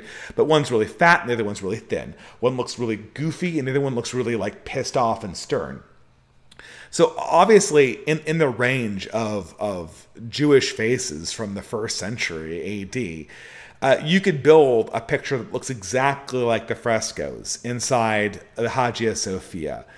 Uh, but the atheists have chosen the absolute ugliest pictures they could get from their auto-generate uh, Jewish-looking face computer, eigenface generator, and, and just so that they can put it in front of Christians, say this is science, and get the Christians to be embarrassed because their Messiah looks really, really stupid, as shown to you by science. Um, yeah, again, this is not how arguments work. This is not how political positions work. Develop your moral axioms, and then, and then, kind of bring those axioms very blithely to the real world, and just apply them. And then, then, then, when you when you have a a moral when you have a political position say this is the way i think about this. Moral axiom uh, experience and then a, a set of syllogisms that process that experience and that moral axiom into a given political position. And i may be wrong but this is the best i can reason it. And uh, ultimately you know I'll, I'll see if there's an error if there is an error, I'm not going to let it, that error embarrass me to discard my core moral principle. That error exists purely in the argument that I've just made and does not cause me to just kind of flee from the dedications and the people I fight for at a larger level uh, otherwise. So uh, thank you very much, the Sink Dweller. Uh, I'm going to have to keep on going because I'm way behind, way, way, way over time. Medwords for $5 USA. Thanks, Dave. For context, I'm a senior in our philosophy theology honors program. It's been meh. Thankfully, to be on a full tuition scholarship. We had a politics class last year in which we read views ranging from Hobbes to Robert Reich. Well, um, yeah, uh, Robert Reich. Oof. What a downgrade from Thomas Hobbes. I, I have Thomas Hobbes, and I, I tried to reread him in 2020. I got pretty well good ways into the Leviathan. I remember reading Thomas Hobbes in a philosophy survey class when I was in college, but it must have been a highly abridged version because it certainly wasn't as long as the Leviathan copy I currently have now. So uh, I consider him to be a good source, although I always get the sense that I'm reading like this, uh, yeah, the 17th century autist talk about politics. You know, it, it sounds like he has a lot of insights, but but they're they're so narrow, right? Eh, no, no wonder people thought he was an atheist back when he, he wrote in the 17th century. Dreadnought for ten dollars USA. What do you think happens if something if something comes out in the next six months or so, which catastrophically blows the narrative? Such as if mass numbers of people start dropping dead because of something we were totally not forced to take. Ah, God bless you and yours as always. Um, well, I, I, Dreadnought, I don't think that that's going to happen. I mean, uh, well, we, we, we do have tons of people dropping dead currently for a mysterious reason. And, uh, how, how, I mean, this has been going on for what, six months now, I believe? These these high post COVID excess deaths that no one has an explanation for. Uh, that doesn't seem to be blowing the lid off the narrative. I, I guess if there's a definitive study that came out that showed that COVID remedies were responsible for these excess deaths, even in part, that would be enormous. That would be the, the problem is, look, and Morgoth went through this. I highly recommend reading his Substack on this point. Uh, they they can't. Uh, they'll never publish a paper that attributes even five percent of the excess deaths to the COVID vaccine. Uh, because if they do that, even if that's true, I really doubt all of the excess deaths are due to this remedy. But but they, but they can't publish this because if they publish that, uh, they will admit that these these these World Health Organizations and the CDC just killed like millions of people. Even at a very small percentage of these excess deaths, it's that big. Uh, that would end the cathedral. Uh, that would end the cathedral. How they, they would basically have to just become a dictatorship at that point, because their ability to control public opinion or the narrative at that stage would be shattered and uh, what do people you know and and so i think that this will be this will be suppressed if, it, if it's the case. It, very likely the truth is complicated and that's great for them because the complicated truth can always be resolved so that the result will be buried in the history books and not in the front page headlines of of our ipads or you know the new york times which would never publish it anyway. Um but anyway, yeah, I don't know. I mean, these cathedral ending narrative asymmetry.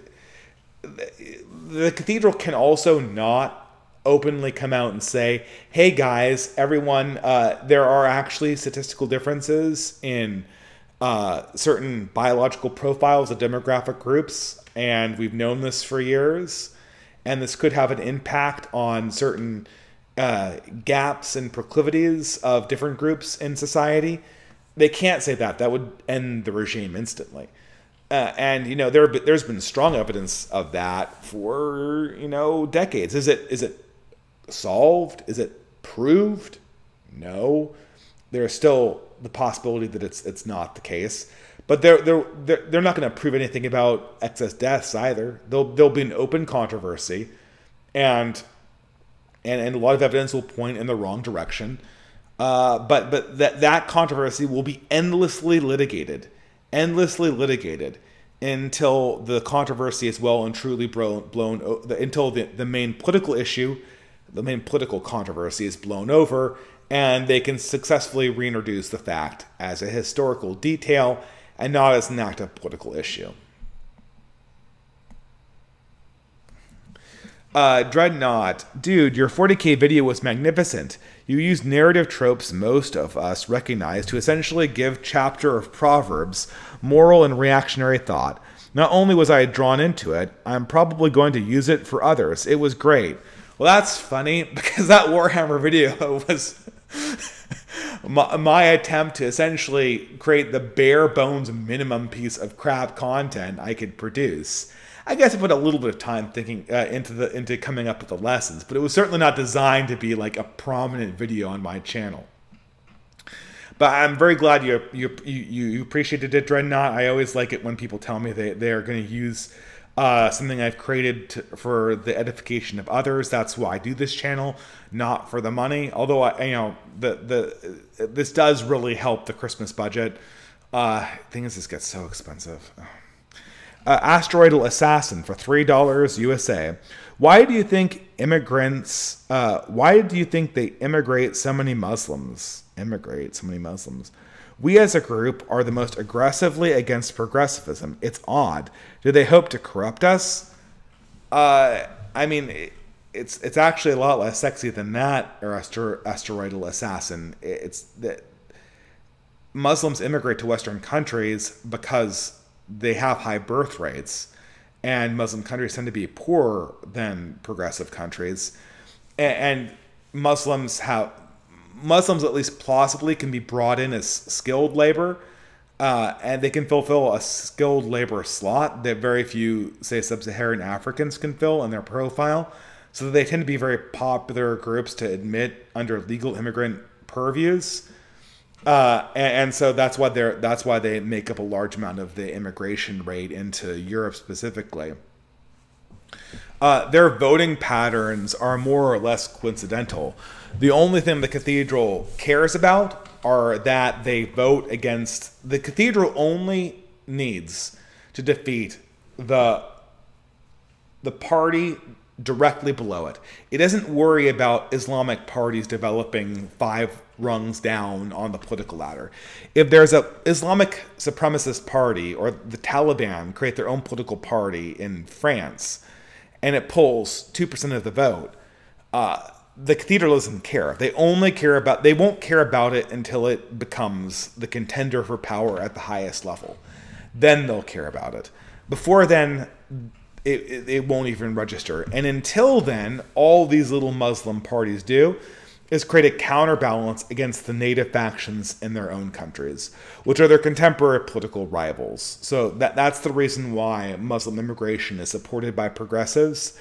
Uh, like, like progressives don't care about uh, like gay people.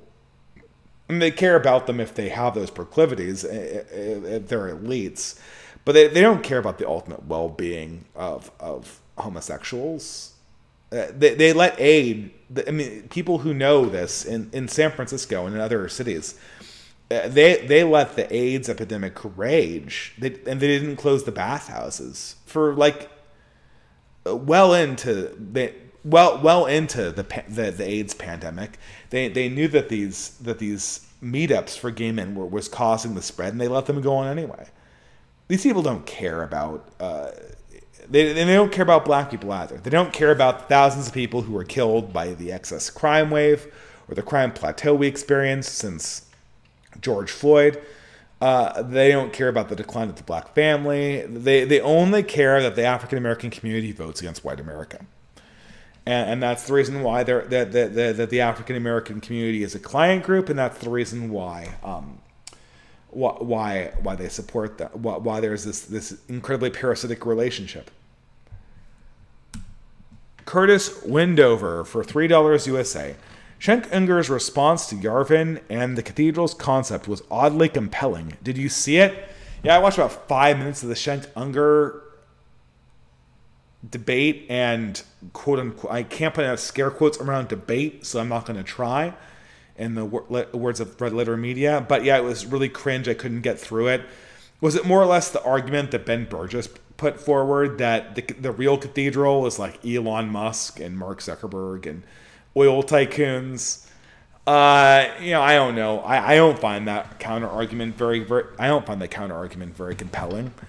Uh, the, the narrative control and the control over ideas and the control over the actions of the government the oil tycoons have is very minimal, as far as I can tell. The influence of a small group of Jewish intellectuals who went to NYU in the 1960s probably had more of a bearing on us invading Iraq than the entire fossil fuel industry the world over. People said it was a war over oil. It was not. It was a war because the Pentagon and neoconservative intellectuals wanted to go to war to prove a point and to gain political power over the State Department, which they ended up losing. But yeah, I, I, I can't agree with you on that one. Um, Asteroidal Assassin for three dollars USA. What are your thoughts on D and D alignments? Uh, I I don't like the nine alignment system. I agree it's kind of silly. I I I, I don't think that the D&D alignment system is a very good personality. I mean, there's two things you want to know about your character, right? If you were to create a character, there's two things you want to know about them. The first thing you want to know is you want to know like their core religion, their core moral compass. And then then you want to know um uh then you want to know their uh their their personality type the, the problem is is that the D&D system uh, its alignment is a combination of both personality type and core moral religion and they use the same word for both which is uh, you know chaotic uh, good lawful neutral or chaotic right and i think there, there is a case that order versus chaos is the fundamental moral religious persuasion that all humans have in, in their heart of hearts and and so, you know, you could create an alignment that way, but I think ordered and chaotic personality, like that's a very poor describer of personality. And so I think that the the, the nine the, the nine box D and D alignment system is a little too clever by half. It, it's trying to make Cartesian something that's fundamentally just two questions that shouldn't be graphed on the same axes, and uh, that that's why you get to a lot of deceptive stuff. Um, uh, last things. Oh, hey man, I have not yet listened to your Alex Kaschuta interview. I am looking forward to that though. It's on her channel. Everyone check it out. Last things for $15 USA. A common opinion on the dissident right is that the leading cause of mental illness is kids being sent to daycare. What are your thoughts? I'm an elder millennial and my parents put me in daycare, and I don't have depression and gender dysphoria. I don't like it, but I don't think it's the uh, root of all evil. Yeah, I don't think daycare is the root of all evil. I mean, I don't live around families, so you know, having professional people watch my kid is we couldn't do anything if I didn't have professionals uh, to to watch my son uh, periodically. I think that some of like the, the daycare systems oftentimes are leaned on a little bit too hard by parents, and it, really should be more um, you know, family members that that take that role. But uh, people move around too much, and it's it's it's a situation. We have to be a little bit forgiving of ourselves. I don't think that the main problem with uh, mental illness is is early childhood education. The leading cause of mental illness is screen time, exercise, and very very bad progressive education at, at, at the later childhood and at the at, at the adolescent and college age level. Uh, and, the general lack of community. That's what's causing depression. Isolation is causing depression.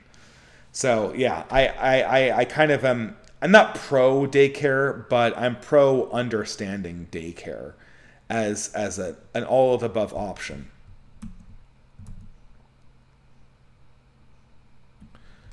Uh, creeper weirdo for um three dollars USA. Why is it some people on the dissident right still spread the BS that the right can't create compelling art? It's an uphill battle for sure, but it's possible. We need to encourage each other. Yeah, I'm, I, I totally agree. I mean, I'm, you know, the Endeavor and Gifts Ungiven had a collaborative short story that came out last month, and it was really, really good. Everyone should check that out. It's on Endeavor's channel. I tend to be one who likes reading fiction rather than listening to it. I love listening to nonfiction, but fiction I always want to have on the written page. But it's still really good. Everyone check it out. Uh, I think the right wing can create art. The problem is, is that we just don't have a big enough slice of the creative class at this stage. So pound for pound, we're always going to be creating less art, which means that we're going to be creating worse art because art is mainly a matter of practice and mainly a matter of of cultivating uh, certain talents. And the more spins of the roulette wheel you get, both in terms of finding people with raw biological talent and in terms of giving them enough shots to create something that's truly compelling, uh, the more great art you're going to get. I am way, way, way over time.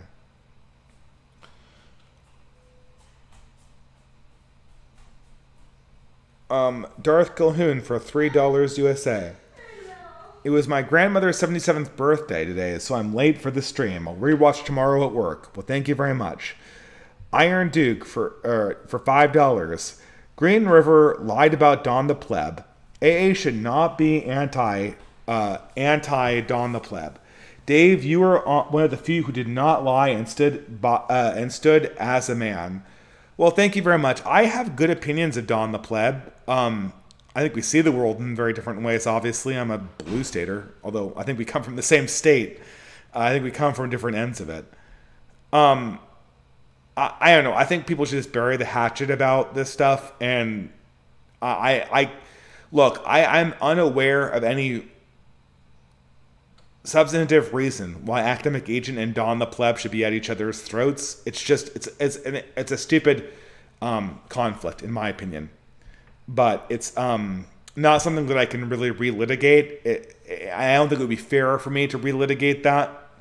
Uh, first of all, I don't want to relitigate internet drama. Uh, and um, I certainly don't want to relitigate it at almost one o'clock at night here. But here is my last super chat. Thank, uh, thank the heavens that they are done. Alternative Avenue for $5 USA. Thanks for everything you do. Is the food better on the West Coast or the East Coast? Um, that's a good question. Uh, I have to say, like the top foodie locations I've ever been to Portland, Berkeley, and New York. I have just never had a bad dining experience in those locations. Uh, and I've been unimpressed with San Francisco, but for some, every time I've gone to New York, the food has been atrociously expensive and then absolutely delicious. Every single time I've gone, I've been impressed with the quality. Uh, and uh, Berkeley's got some really nice foodie venues, and Portland's famous for it as well. And so, so all that stuff is really nice. I, I've only been in the East Coast for a short period of time, but I don't know. I'll give it to the East Coast just because New York has been a really good experience for me, culin- uh, culinarily speaking, not in other regards. But anyway, we are done with the super chats, and I am not going to dilly dally at all because I am very, very, very over time. And we're going to get on to reading the Psalm of the night, which is Psalm 124. Uh, so this is If the Lord has not been on our side, this is Israel's song. If the Lord has not been on our side when men rose against us, then would they have swallowed us alive when their anger was kindled? Then would the waters have engulfed us, the torrent gone over us, over our head would have swept the raging waters? Blessed be the Lord, who did not give us a prey, uh, a prey to their teeth. Our life, like a bird, has escaped from the snare of the fowler. Indeed, the snare has been broken, and we have escaped. Our help is the name of the Lord, who made heaven and earth.